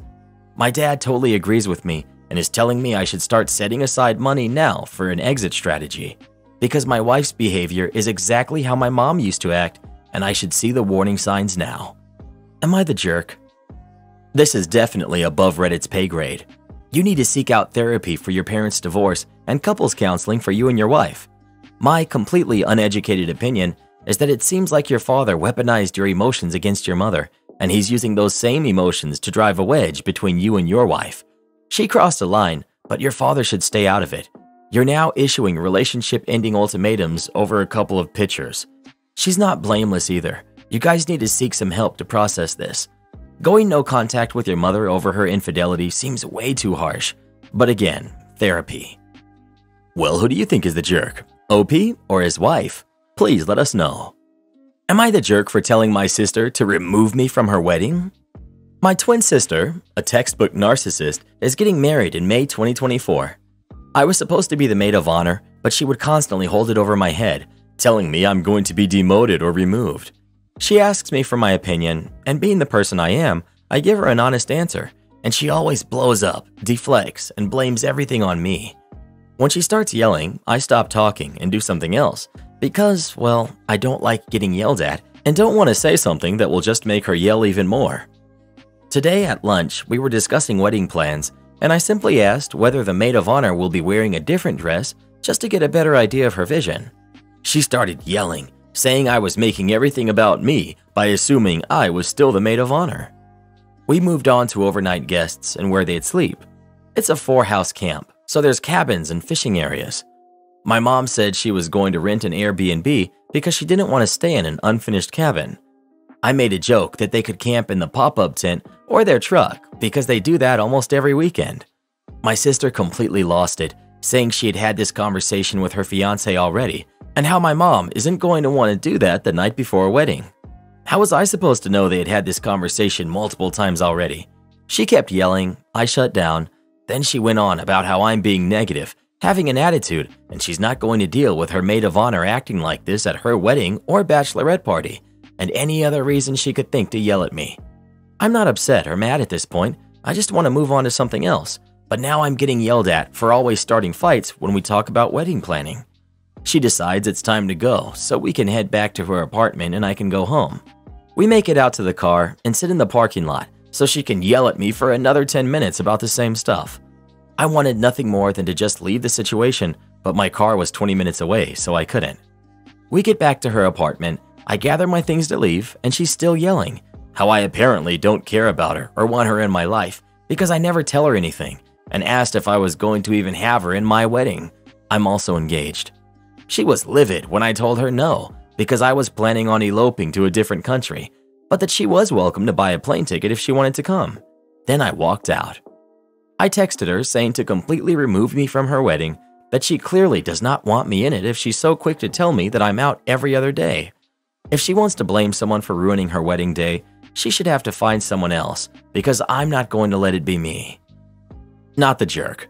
Based on what you've said, she is, at a minimum, being a bridezilla jerk. But just a thought experiment. Let's assume for a moment that you are actually exaggerating. Your sister is not really a narcissist. The reality is that you two just don't get along very well, and she's having a stressful time planning the wedding. It's stressful at the best of times, I know from experience. Even in that case, you're still not the jerk. You have no obligation to be your sister's maid of honor, or to attend her wedding, or to have any relationship with her at all. Your sister is entitled to her feelings of being hurt, but you are entitled to control the level of contact and involvement you want with her. Not the jerk. I think this is beyond wedding stress. OP info. Is this brand new behavior, or has your sister always taken out her frustrations on you or somebody else in the family? Very rarely can you get somebody to have an epiphany and see your side of a story. And I'm only making an assumption based on the information here that whenever your sister is frustrated, stressed, or perceives that something's wrong, she totally attacks you and goes off instead of maturely addressing whatever the true issue is. If this is the case, you have to separate behavior from the person and decide what you can and cannot tolerate. I think it's wonderful that you walked away, and I'm not sure how that impacts your relationship with your parents or others in the family and you need to be prepared for backlash from them. Your sister is most likely going to tell them some convoluted version of what actually happened. Am I the jerk for telling my daughter it's okay to use her mother for money? So I used to be married to Judy, 36 female, and we have a daughter, Scarlett, who's 13 together. Fake names. Judy never wanted kids, but I did, and I assumed she did too. We had her, and Judy completely changed. She wasn't caring towards Scarlett. They didn't bond, and she blamed Scarlett for us losing our independence. About a year after, we had a divorce, and she gave me everything. It did hurt me that she didn't even want to see Scarlett once a year, even. She moved to Seattle months later, started running a business, got really fit. Her cousin told me she even got laser surgery to remove the stretch marks. Since then, Judy has moved to LA and divides her time between there, London, Mumbai, and New York City. She has become a fairly famous influencer and socialite. I check her Instagram every now and then, and she's been at parties with celebrities all over the world and truly seems happy. To her credit, every time her financial situation changed, she would come back and get our child support agreement changed to give more to Scarlett. Every time she had come, she would spend time with Scarlett. She even kept it at the same, even though my new wife makes a lot more money than both of us, and we don't need it now. About three years ago, she started calling more to talk to Scarlett. She would also come over more, and every spring break, she comes for those two weeks. She phones every night unless she's in London, Mumbai, or New York City, in which case she just sends a text. On New Year's, she was at some celebrity's party, but still took the time to phone. Now, I'm not saying this makes up for anything, but she has been a presence in Scarlett's life. Well, we just found out that Judy's grandfather is very ill and he's going to pass within a month, maybe early March at best. So she's going to India for spring break for his funeral and has requested to take Scarlett with her. I'm fine with that. My wife is fine with that. However, Scarlett got really upset at the idea of spending two weeks in India. I pointed out her mom will take her to all the nice places. She'll get to see great things, meet that part of her family. But she said that it's not fair. So I pointed out that at the very least, she can get whatever she wants out of her mom in those two weeks. My wife overheard and said I was being a jerk for telling Scarlett that it's alright for her to use her mom for cash since she's barely been in her life. I pointed out I didn't say that, but we argued, and since then, I realized what I said kind of did amount to that. Was I the jerk? Edit. Judy never told me she didn't want to have kids. She allowed me to believe that she did. If I knew she didn't, we wouldn't have gotten married. You're the jerk. If Scarlett doesn't want to go, don't make her go. Advocating for taking advantage of her mother is crappy. You managed to land not one, but two decent women. I cannot for the life of me understand how. Ah, Reddit, the perfect place to go to find people who will rip a man to shreds in the morning because he was broken by the fact that his daughter didn't want him to walk her down the aisle, and then refer to a woman who abandoned her kid as a decent woman. She abandoned her, but has always been paying and using her pay in accordance of her income. More than most deadbeat dads. Edit. I grew up with a deadbeat dad. No financial help from my mom or real involvement in my life, so I worded that a bit harsh. So think deadbeat parent. Am I the jerk for waking up my roommate at 7 a.m. and yelling at her? I, 20 female, woke up my roommate, who's also 20 female, let's call her roommate, at 7 a.m. and yelled at her because she left our front door unlocked and cracked open. I posted on this sub before about would I be the jerk for talking to her about leaving the door open to our apartment, unlocked, and other issues, and based on what you guys said, I decided to. She seemed pretty receptive to it, but since then, her habit of forgetting it hasn't changed. I have a lot of issues with sleep, and last night I wasn't able to get any, so I went downstairs to grab an energy drink at around 7. The first thing I noticed was that there was a light coming from our front door, and as I came closer, I realized it was unlocked and partially open. The first thing that came to my mind was that there was a break in, and I panicked and woke up my roommate because I thought we had been robbed or something. I told her that our door wasn't closed all the way and was freaking out pretty badly. Then she said, Oh, that's most likely my fault. I got delivery pretty late and probably forgot to close the door.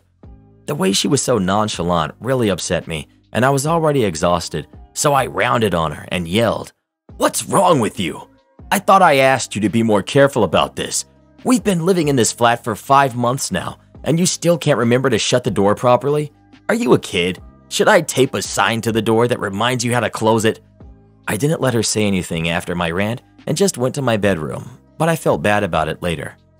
I did apologize to her already, and we went grocery shopping together, and everything seems okay between us, but I still feel like a jerk.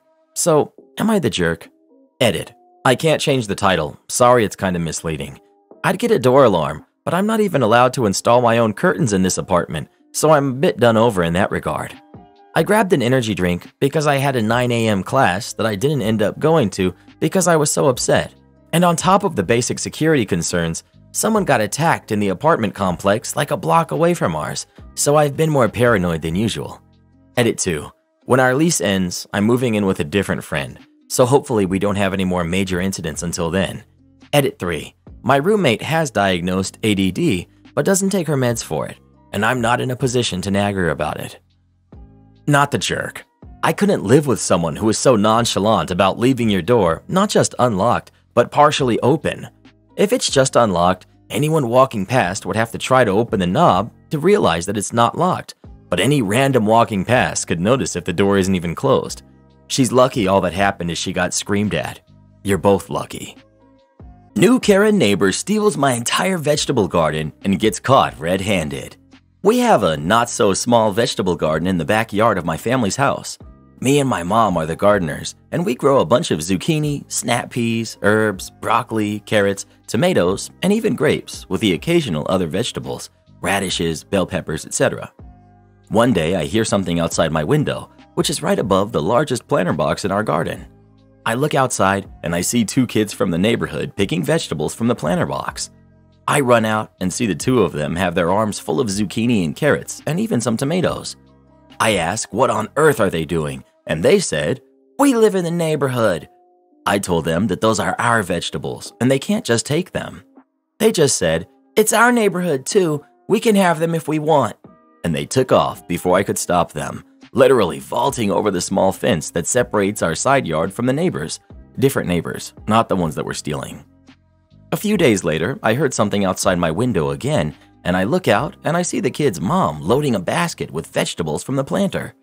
Again, I rush out and I see that her and her kids are loading baskets with everything they can grab. I watched as the mom grabbed a handful of the chives I had been growing and ripped them out, roots and all. My mom must have heard me run out because she came out as well. She yelled, asking what they thought they were doing, and the kids just kept picking vegetables, while the mom just turned annoyed.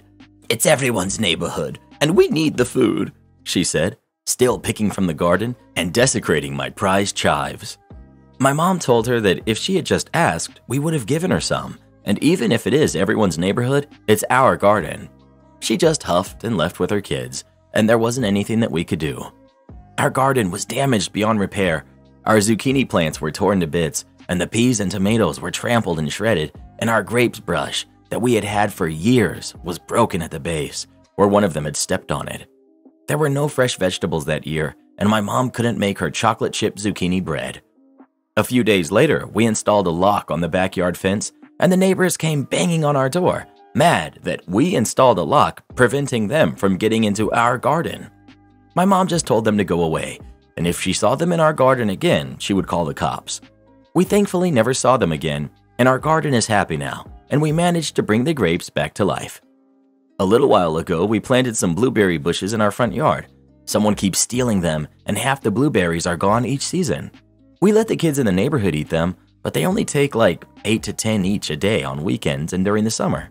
There are 10 bushes in total, about 100 to 150 blueberries each. Hmm, I wonder who's taking 500 blueberries each year. We haven't caught them yet, but everyone knows. Cameras, my friend. We all need to put up cameras. You only pay mileage for the shortest possible trip? Okay, then you have to pay my tolls, plus update. At my job, every day I have to travel between two offices. I start at my main office, then have to travel to the second office, then back to my main office. Because I'm using my personal vehicle for this travel, the company pays me mileage. Well, there are basically two routes you can take between the two offices. One is about a mile round trip shorter, but has tolls. So I always took the one mile longer route and avoid the tolls. I did it this way for a year. Well, in comes the new bookkeeper and she's heck bent on saving the company money. And where does she think all of this wasteful money is going? Expense reports, obviously. So she starts nitpicking every report. Like if someone was out and has to buy some pens for work, she goes online and finds the cheapest price possible for those pens and only reimburses for that cheaper price. That obviously has upset several people. Well, she eventually decided to target me. I submit my report for two weeks and a few days later get the reimbursement payment. Well, it's $5.85 short. I ask her about it, and she says I've been ripping off the company for the past year by taking the longer route between the offices. She will only pay mileage for the shorter round trip from now on. And I'm lucky she doesn't go back and take back all the extra from the past year. I say okay, but to please send me that, per her, I must take the shorter route and that this is company policy and leave her office. Before I even made it to the desk, I had the email from her confirming what she said. Two weeks later, I submit my expense report. I reported the shorter route, but the company saved 585, but tolls added up to $136. I reported the shorter route, so the company saved $5.85, but tolls added up to $136, a net loss for the company of $130.15. It's been six months, and I'm still taking the shorter route, costing the company an extra $130 every two weeks. Update This extra cost to the company went on all last year. By my estimates, it cost the company about an extra $3,500. So, the third week of December, we have our annual budget review with all the department heads. It's usually just a quick chit chat about how things went over the year, then we all get a nice catered lunch. This year went a little different. First, Karen Bookkeeper asked that we have a projector set up in the conference room so she could give a presentation on how much she saved the company since she was hired at the beginning of the year. This was great for me. I prepared my own presentation. She starts off the meeting going over each department, going over the changes she's made to save money. Her big cherry on top of her savings was how much she saved by cracking down on excess expense reimbursements. Now, I should say here that she's not liked by any of the department heads. Most of the employees have complained to their department heads about her bull, and they've been forced to just take the complaints with no power to do anything about it. I, on the other hand, am a one person department. So her presentation ends with a big hooray on how cutting down on expense reimbursements has saved the company a whole $3,500 last year. Then we start going over each department's budgets. Everything is going normally until they get to my budget. Wait, why is it so far over budget? My boss asks. And this is when my short PowerPoint gets played. I bring up the first slide. It's the slightly longer route I was taking between offices. I explained this was the route I was taking and what the mileage reimbursement was. The next slide was the new shorter route. I explained that Karen forced me to take this route because the mileage reimbursement was less, saving the company about $5.85 every two weeks, a little more after the mileage rate went up in July. Then I showed them the next slide of Karen's email. Included in that email is a part about this being final and there will be no further discussions on the matter. The final slide was all of the toll reimbursements I was paid over the year, including the approximate total year to date that was a result of this new shorter route. I explained that had I been able to discuss this matter with Karen, I could have explained that the shorter route had these extra tolls, and I said that's the reason I'm so over budget this year. The room was silent for what seemed like forever. Then the owners of the company asked everyone, except Karen, to step out of the room for a few minutes. When the door opened back up, Karen walked out silent, went to her desk, and started packing up her things. That was the end of Karen. Am I the jerk for not giving my daughter her education fund money? I have a PhD and I'm only acting in her best interest. I, 54 male, have two kids 23 daughter and 21 male, with my wife, who's 52. When the kids were young, my parents set up education funds for both of them, which was very generous of them. My wife and I always expected our kids to attend college and then graduate school, as we have done. I have a PhD, my wife has a master's, because of this, we decided not to use the funds for our kids' undergrad degrees and did not tell them about the money. My daughter has always been more into the liberal arts, while my son is more of a STEM guy. My wife and I worried about her ability to find a job, but she insisted on studying music and film in college. She was accepted to some top schools and chose to attend a rather expensive one, but she had scholarships to cover almost all of her tuition. Everything else, plus living expenses, was her responsibility. She lived in a very small apartment shared with friends in a not so nice area far from campus, but she was fine and learned how to budget effectively. After graduating, she luckily found a job that doesn't pay extremely well, but she enjoys and scrapped the idea of grad school. My son decided to do engineering, and he has also expressed that he had no interest in grad school. My wife and I were disappointed, but accepted it since at this point he's already all set up with a very good job when he completes school.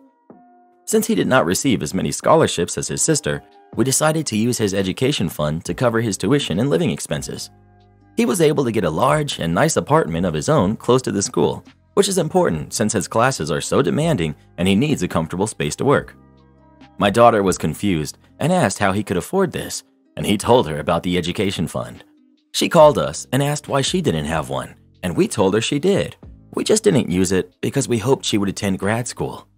She seemed hurt by this and asked if there was any way she could have the money now. We explained that there would be a fee to simply withdraw the money for non education use, and if we chose to do that, it would belong to her grandparents so they could put it towards their own use. She's been quiet and short when answering our texts and hasn't answered our calls at all since then. I know that it does seem unfair to her, but it's not really her money in the first place, and she's no longer in college. Plus, her brother only received it for educational purposes, and it wouldn't be right for her to just have it to spend now. Am I the jerk? Update I understand the consensus is that my wife and I are the jerks. I texted my daughter to ask if she wanted us to withdraw the money for her and what she wanted to do. This was her response I don't care. Maybe they can transfer it to the other grandkid who's five if the fee is seriously too much. I don't know about grad school. I haven't thought about it much recently. If I do apply, it wouldn't be for another couple years, and I hadn't been counting on having any financial help in the first place, so it really doesn't even matter. Thanks for asking, though. Update 2 My wife and I are discussing our daughter's response and our next actions to resolve the situation. For context, my wife has always had a strained relationship with my daughter and did not approve of many of her life choices. She believes we should take our daughter's words at face value and assume she no longer wants the money. From some of the responses here, I fear that my daughter's response was out of resentment, and I suggested taking out as much money as her brother was given so at least they received the same amount. She could use it responsibly towards rent, groceries, transportation, etc., or in some other way to further her career, so it would still be for educational purposes in a sense. My wife is standing firm in her opinion, and we will continue talking it through tomorrow. Many have asked about where my parents stand on this. At this point, they are not mentally aware enough to really participate in the discussion. They did know about our grad school stipulation and thought it was fine. They also knew that we took out some money for our son once we were certain he was not pursuing an advanced degree, and were fine with that as well. They said it was our decision as parents what to do with our daughter's fund, and they would support whatever we decided for her. It wouldn't be useful to ask them what to do with it now, but I've always said that whatever is unused will go back to their care. I've tried to call my daughter with no luck, which is why I sent the text. Despite what many have said here, I hope this does not end our relationship. You're the jerk, and I'm surprised between your PhD and master's degrees you couldn't figure that out. Edit. Thank you everyone for all of the awards. I'm glad we can all come together as a community to call out OP's jerk behavior and mistreatment of his daughter. Massive, you're the jerk. I feel for your daughter. It would be super hurtful to hear that your parents could have helped you but chose not to. You're a PhD for sure, but not the educational type. And the worst part was that the daughter was punished for getting scholarships and had to live in a crappy area with roommates, while the son had a nice apartment on his own in a good area. Part of this, I believe, is judgment against her choices of going into the humanities as opposed to her brother who went into engineering, and the implication that his studies were more rigorous. You're the jerk. Oh dear. Just goes to show you that having a PhD and a master's degree does not make you a good parent or smart in any way. So let me get this right. Your daughter attended college and had a scholarship. Your son attended college with no scholarship. You chose to not let your daughter use her college fund for everything that her scholarship didn't cover, and you let your son use his for everything. The college fund, you said, wasn't even her money, but it isn't yours either. What exactly do you plan to do with her college money? You're the jerk for this. Just FYI, if the edit you made is genuinely all the effort you made to put things right, you're pathetic. You need to give her the money and make up the difference for the fee, as you've stolen her money. You're the jerk even after the edit. Well, what do you think? Is OP the jerk or not? Please let us know. Make me take PT every month, will you? I was in the US Army and the Army National Guard for over 20 years. I did finally get my pension, but I was ready to throw all that time away because of the inability of a first lieutenant to count to eight. We had an annual PT test scheduled as part of a drill weekend. A drill weekend consisted of four unit training assemblies, or UTAs. Each UTA was equivalent to a day of active duty pay. The duty day started at 7 a.m., lunch at noon, final formation at 4:30 p.m., then released for the day unless an overnighter was on the training schedule. Promotions were contingent on passing the Army physical fitness test, as well as a bunch of other random qualifications such as military schools, professional development, military awards and decorations, rifle qualifications, civilian training, and or schooling and college degrees. The APFT consisted of three events push ups, sit ups, and a two mile run. It has since been changed, but that was what it was when I was in. I'm a natural runner. I ran track in high school, tall and lean with good stamina. Not too fast, but I was steady, six minute miles all day long. Sit ups were never a problem for me. Push ups, however, not much for upper body strength. I've always struggled with push ups. It's the only event of the APFT that I ever actively trained. I could max out the other two events, but push ups, I was happy if I could make the minimum required to pass the test. I was up for promotion. I trained push ups for months prior to the test. On the day of the test, one of the smokers in the unit wanted to run with me to pace off of me so that he could pass the PT test. I did the required number of push ups to pass that event, and I was flying high, knowing the other two events were easy for me. We ran on a quarter mile high school track, eight laps for two miles, and as we passed our scorer, in this case, the idiot first lieutenant, we'd yell out our last name and he'd check off the completed lap. My buddy and I ran side by side for all eight laps, and when we got to the last lap, the LT said I had another one to do. We explained that we ran together for all eight laps, and if one of us passed, both of us passed, but he wasn't buying it. He made a mistake and couldn't admit it. He was adamant that I had to run another lap, and because I was running slower than I normally would have to let the smoker keep up, I couldn't complete another lap in the time required to pass the test. I was marked as a PT failure and wasn't eligible for promotion. Because I was an NCO, there wasn't that many slots that opened up in a year in my job classification. The opening went to another NCO further down the promotion list than me. I was upset. My civilian job was in manufacturing. We worked a three on, three off schedule. I worked nights. Weekends were our big money weeks. In order to attend a drill weekend, I'd have to miss work Friday night, Saturday, and Sunday night. I would lose about $600 for attending drill. Occasionally, we could be approved for missing drill as long as we made it up during that month, or we could just take no pay for drill and miss those days towards creditable retirement. At some point, leadership decided that all PT failures would take a PT test every month until they passed. Failure to show up for the PT test would be an automatic forfeiture of pay and retirement points. Eligibility for retirement was based on having a good year. A good year was 50 points. Each UTA was 1 point. Annual training was 15 points, leaving 35 points needed from drill weekends. In a year, I could miss 3 drill weekends, and as long as I made all the rest, I was eligible for a good year. I saved those excused drills for the weeks I was scheduled to work Friday, Saturday, and Sunday so I wouldn't lose the $600 difference for my civilian job and drill pay. Now back to the mandatory PT tests every weekend. Leadership decided that we couldn't miss the scheduled training, so the PT test would be held before drill at 5:30 a.m. at an armory 30 miles further away from my unit's armory. To be at the PT test armory on time for the test meant that I had to get up at 3:30 a.m., get dressed, drive almost 2 hours, then do the test. Cue malicious compliance. If I was going to be inconvenienced by this idiocy, so is my scorer. I would show up for the test, sign in, do one push up, one sit up, one lap, and call it good. Drive to my unit and report that I failed the PT test and go to work and still get paid every month. My first sergeant pulled me aside one day and asked what was going on. He said he knew I could pass the test. I explained that I already passed the test, but that the lieutenant never passed kindergarten counting if they wanted to hold the PT test during duty hours, I'd be more than happy to try to pass, but there was zero incentive for me to do so as long as I had to drive 2 hours to take the test at 5:30 a.m. Another drill weekend, it snows quite a bit, and it slows my drive down, so I get to the PT test a few minutes after it started. The LT in charge said it was too late and I couldn't start now. Okay, whatever. Drive to my unit to report in that I wasn't allowed to take the test. Then I'm informed that I'm getting an UNSAT for refusing to do the PT test and wouldn't be paid for that UTA. Okay, if I'm not being paid, I'm leaving and will be back in four hours. Nope, if you leave, you'll get another UNSAT. I realized then that means I don't have a good year. I'll only have 49 points. Forget it. I quit then. I had over 18 years in, re enlisted for six more right before the failed PT test I passed, and just walked away. No more stupid games and no more losing money. In years past, some National Guard units were known to carry soldiers on their rolls.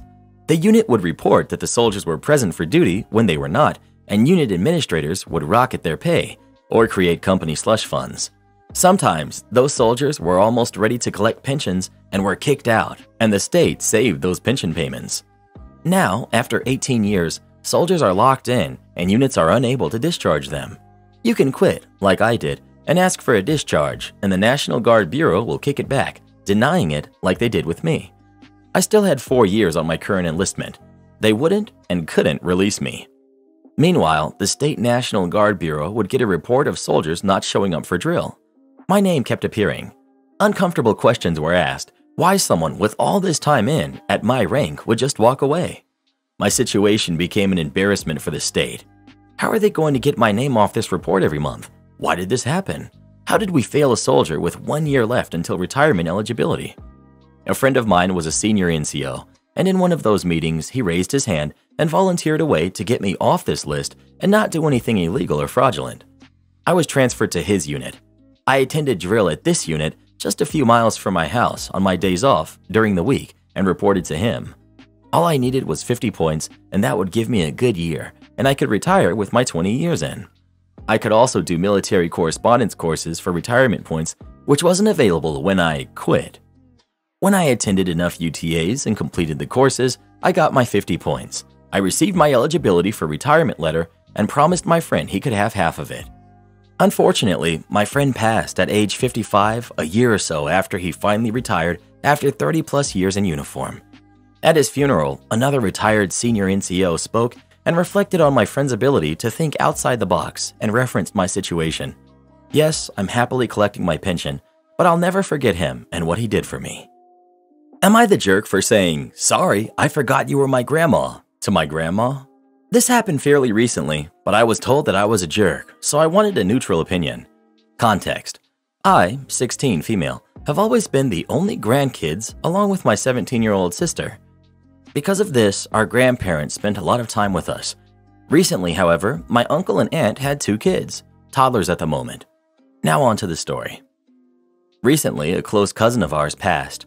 Her funeral was two days after my birthday and one day after an orthodontist appointment of mine. This orthodontist appointment made it so it hurt to eat any food that wasn't soft, relevant later. Anyway, we went to the funeral and after that to the burial. Some of my grandma's family was buried there, so she asked me and my family to look for them and take photos of their graves for her.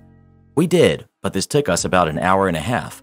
So, when we finally got to the celebration of life, the food not only was cold, but also all gone. Now, my uncle and his oldest toddler were with us at the ceremony too, so they arrived at the celebration of life with us.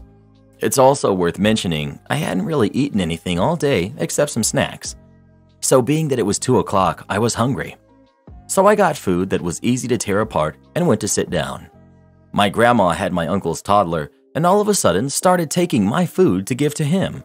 Mind you, I told her I couldn't eat much because my mouth hurt. Well, she ended up giving all of the food I could eat to my baby cousin, leaving me hungry. When I got upset, my grandma said, Sorry, I forget you're my granddaughter. I won't lie, that hurt, and I didn't talk to her for the rest of the day. Anyway, we were at my uncle's house two days after, and she asked me to do something for her, and in my genius moment, I said, Okay, first name, I can do that. When she stared at me in confusion, I finally said, Oh, sorry, I forgot you were my grandma, in front of one of my aunts and my grandpa, not her husband.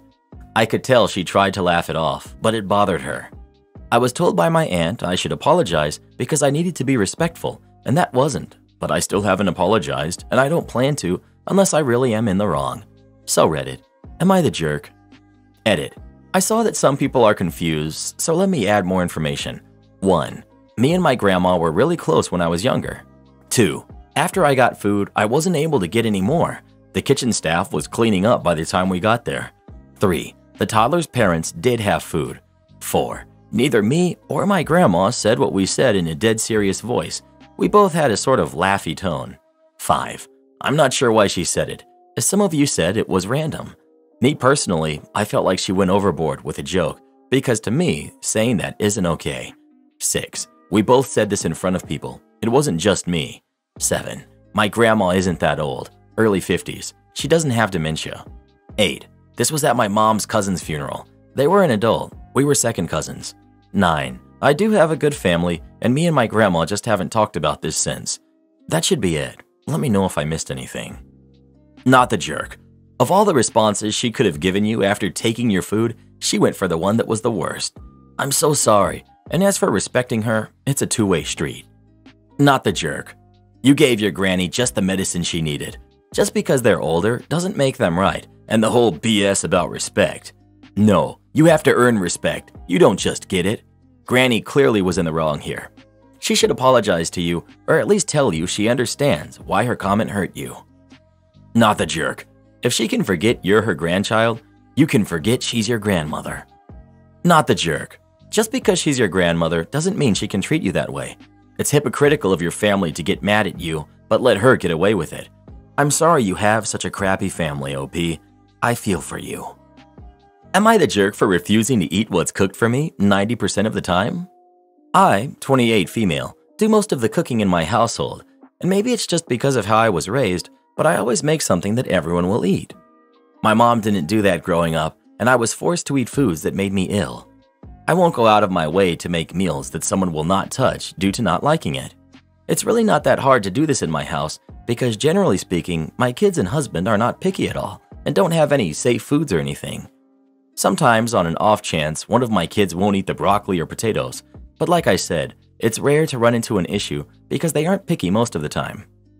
I, on the other hand, don't like a handful of foods and I will not touch them. Like spaghetti is a huge one for me. I hate spaghetti. Beef stew, pot roasts of any kind, mashed potatoes, whipped are okay sometimes, meatloaf, Salisbury steak, Brussels sprouts, cauliflower, etc. I can safely say that most of which I hate isn't even a taste issue. It's that I've eaten these foods so many times because either everyone in my house, husband especially, wants them 24 7, or someone from my childhood growing up did. I just can't stand any of those foods anymore, and I will not eat it. I usually cook for my family and will make myself something small on the side if I make any of these meals. My husband knows what I like and I don't like. Whenever he cooks, though, he always makes something I absolutely will not eat, like potatoes. He literally wants potatoes with every meal, to a point where my kids are starting to hate them, and meatloaf or spaghetti. Those are his two go to meals whenever he cooks, and I won't eat it. Never have. He cooked yesterday while I was sick and made spaghetti, and when I woke up, he told me I needed to eat something. So I went out and grabbed something else cheese and pepperoni, and he got upset that I didn't want to eat dinner. He said he hates cooking because I never eat it. I told him if it bothered him, then maybe he should stop cooking meals he knows I won't touch. He said I make it so that he doesn't want to cook at all. Am I the jerk? ETA. Most of the foods I listed either make me throw up or go right through me. We've been together since I was 15, so he knows this. He is also a chef day to day, but whenever he cooks at home, he sticks to meatloaf and potatoes or spaghetti. He never makes anything else, with the exception of beef stew, maybe once a year. ETA. I don't expect him to cook separately from me when he does cook, I have no problem cooking for myself. The issue is that he gets upset when I won't eat the food that he makes, and I always make myself something different. I've never expected him to cook separately for me, and I've never held it against him. So your chef husband says that you're at fault that he doesn't want to cook at home? You ever thought about the fact that he does this on purpose so that he doesn't have to cook? Not the jerk. Not the jerk. I don't understand the people who are saying anything else. He's making food you can't eat on purpose and then getting angry when you don't eat it. That's foolish and selfish on his part. Not the jerk, from my perspective. I also was subjected to the I made it, you eat it trope as a kid, and there are things I just don't want to eat. As an adult in charge of my own body, I see no reason to consume things that I don't enjoy when there are plenty of healthy things I do. You didn't expect him to make you something else, you simply didn't eat what he made and provided your own. My husband likes to make Guinness stew, which I won't touch, and he's not offended when I don't. Guests need to know you're human too. So I do lots of things in the restaurant I work at, and one of those is front of house work. It's a very nice part of my job. I love organizing tables. It's good brain exercise, and you can have a lot of fun small talk with people. However, I don't control reservations. That's being done by my bosses, who are awesome mostly. This means I come in and start my shift and have to work with what I have, which usually isn't too bad. On this particular day, I come in a little early and a waitress greets me with, Today's going to suck. Your front of house? My condolences. She's not one for overreaction, so I know to brace myself. I take the iPad we use for organizing reservations. First three hours look fine, but then mayhem will break loose. And we are overbooked. Our restaurant usually has around about 180 seats. We had reservations for roughly 250 people, including a group of 100 people who had flat out booked one complete room, which gives me less space to work with. Now, 70 people more than seats per evening isn't bad per se, like a four top can be used three or four times for groups after each other. But that evening, I had roughly 20 seats too few, so I got to work. I got out extra seats from the back. I got out extra seats from outside. I got out extra seats from the attic. Me and a waiter carried down two extra tables from the attic, which was a pain, honestly. And I rearranged a ton of stuff, both in how tables were standing and in how they were reserved. In doing so, I noticed a note in one of the reservations Wants this table, will get angry if not possible. I sigh. It would help to assign them a different table, so I do. I work blood, sweat, and tears for three hours and finally have the restaurant in a shape that's halfway prepared. People start trickling in. The staff is in top form, places stacked to roof. Now, the reservation I switched around arrives. Older guy with his family. He tells me his name and that he specifically requested a table, which is something we explicitly don't do, by the way. You just can't promise people that. I tell him, sorry, very, very busy tonight. We had to rearrange you. However, the table is similar in size and in position. Would you please follow me? As promised, he starts winding up and gets angry. How can this be? Is everyone incompetent these days? You know the spiel. So I look at him in full earnest and ask him, Do you want to make me cry? He's clearly taken aback. I elaborate. I've worked like a madman for the past three hours to get this place to a shape where we can use it today. I didn't overbook this, and if I could have given you your table, I would have, but I can't. And I really got through to him. His anger dissipated, he apologized for bursting out, and politely asked me to speak to my bosses about the overbooking, which I did, and they were very understanding and helpful. They sit down and have a good night. That was one of the worst shifts of my life. I'm not easily stressed, but phew. However, I'll remember that interaction as a positive. Thanks for reading, and I hope you have a good day. Do this next. Tap here on your screen to come see our new podcast playlist, where you'll find thousands of hours of the best stories you've ever heard. Or tap the one on the right. That episode is specifically just for you, based on other videos you've enjoyed the most.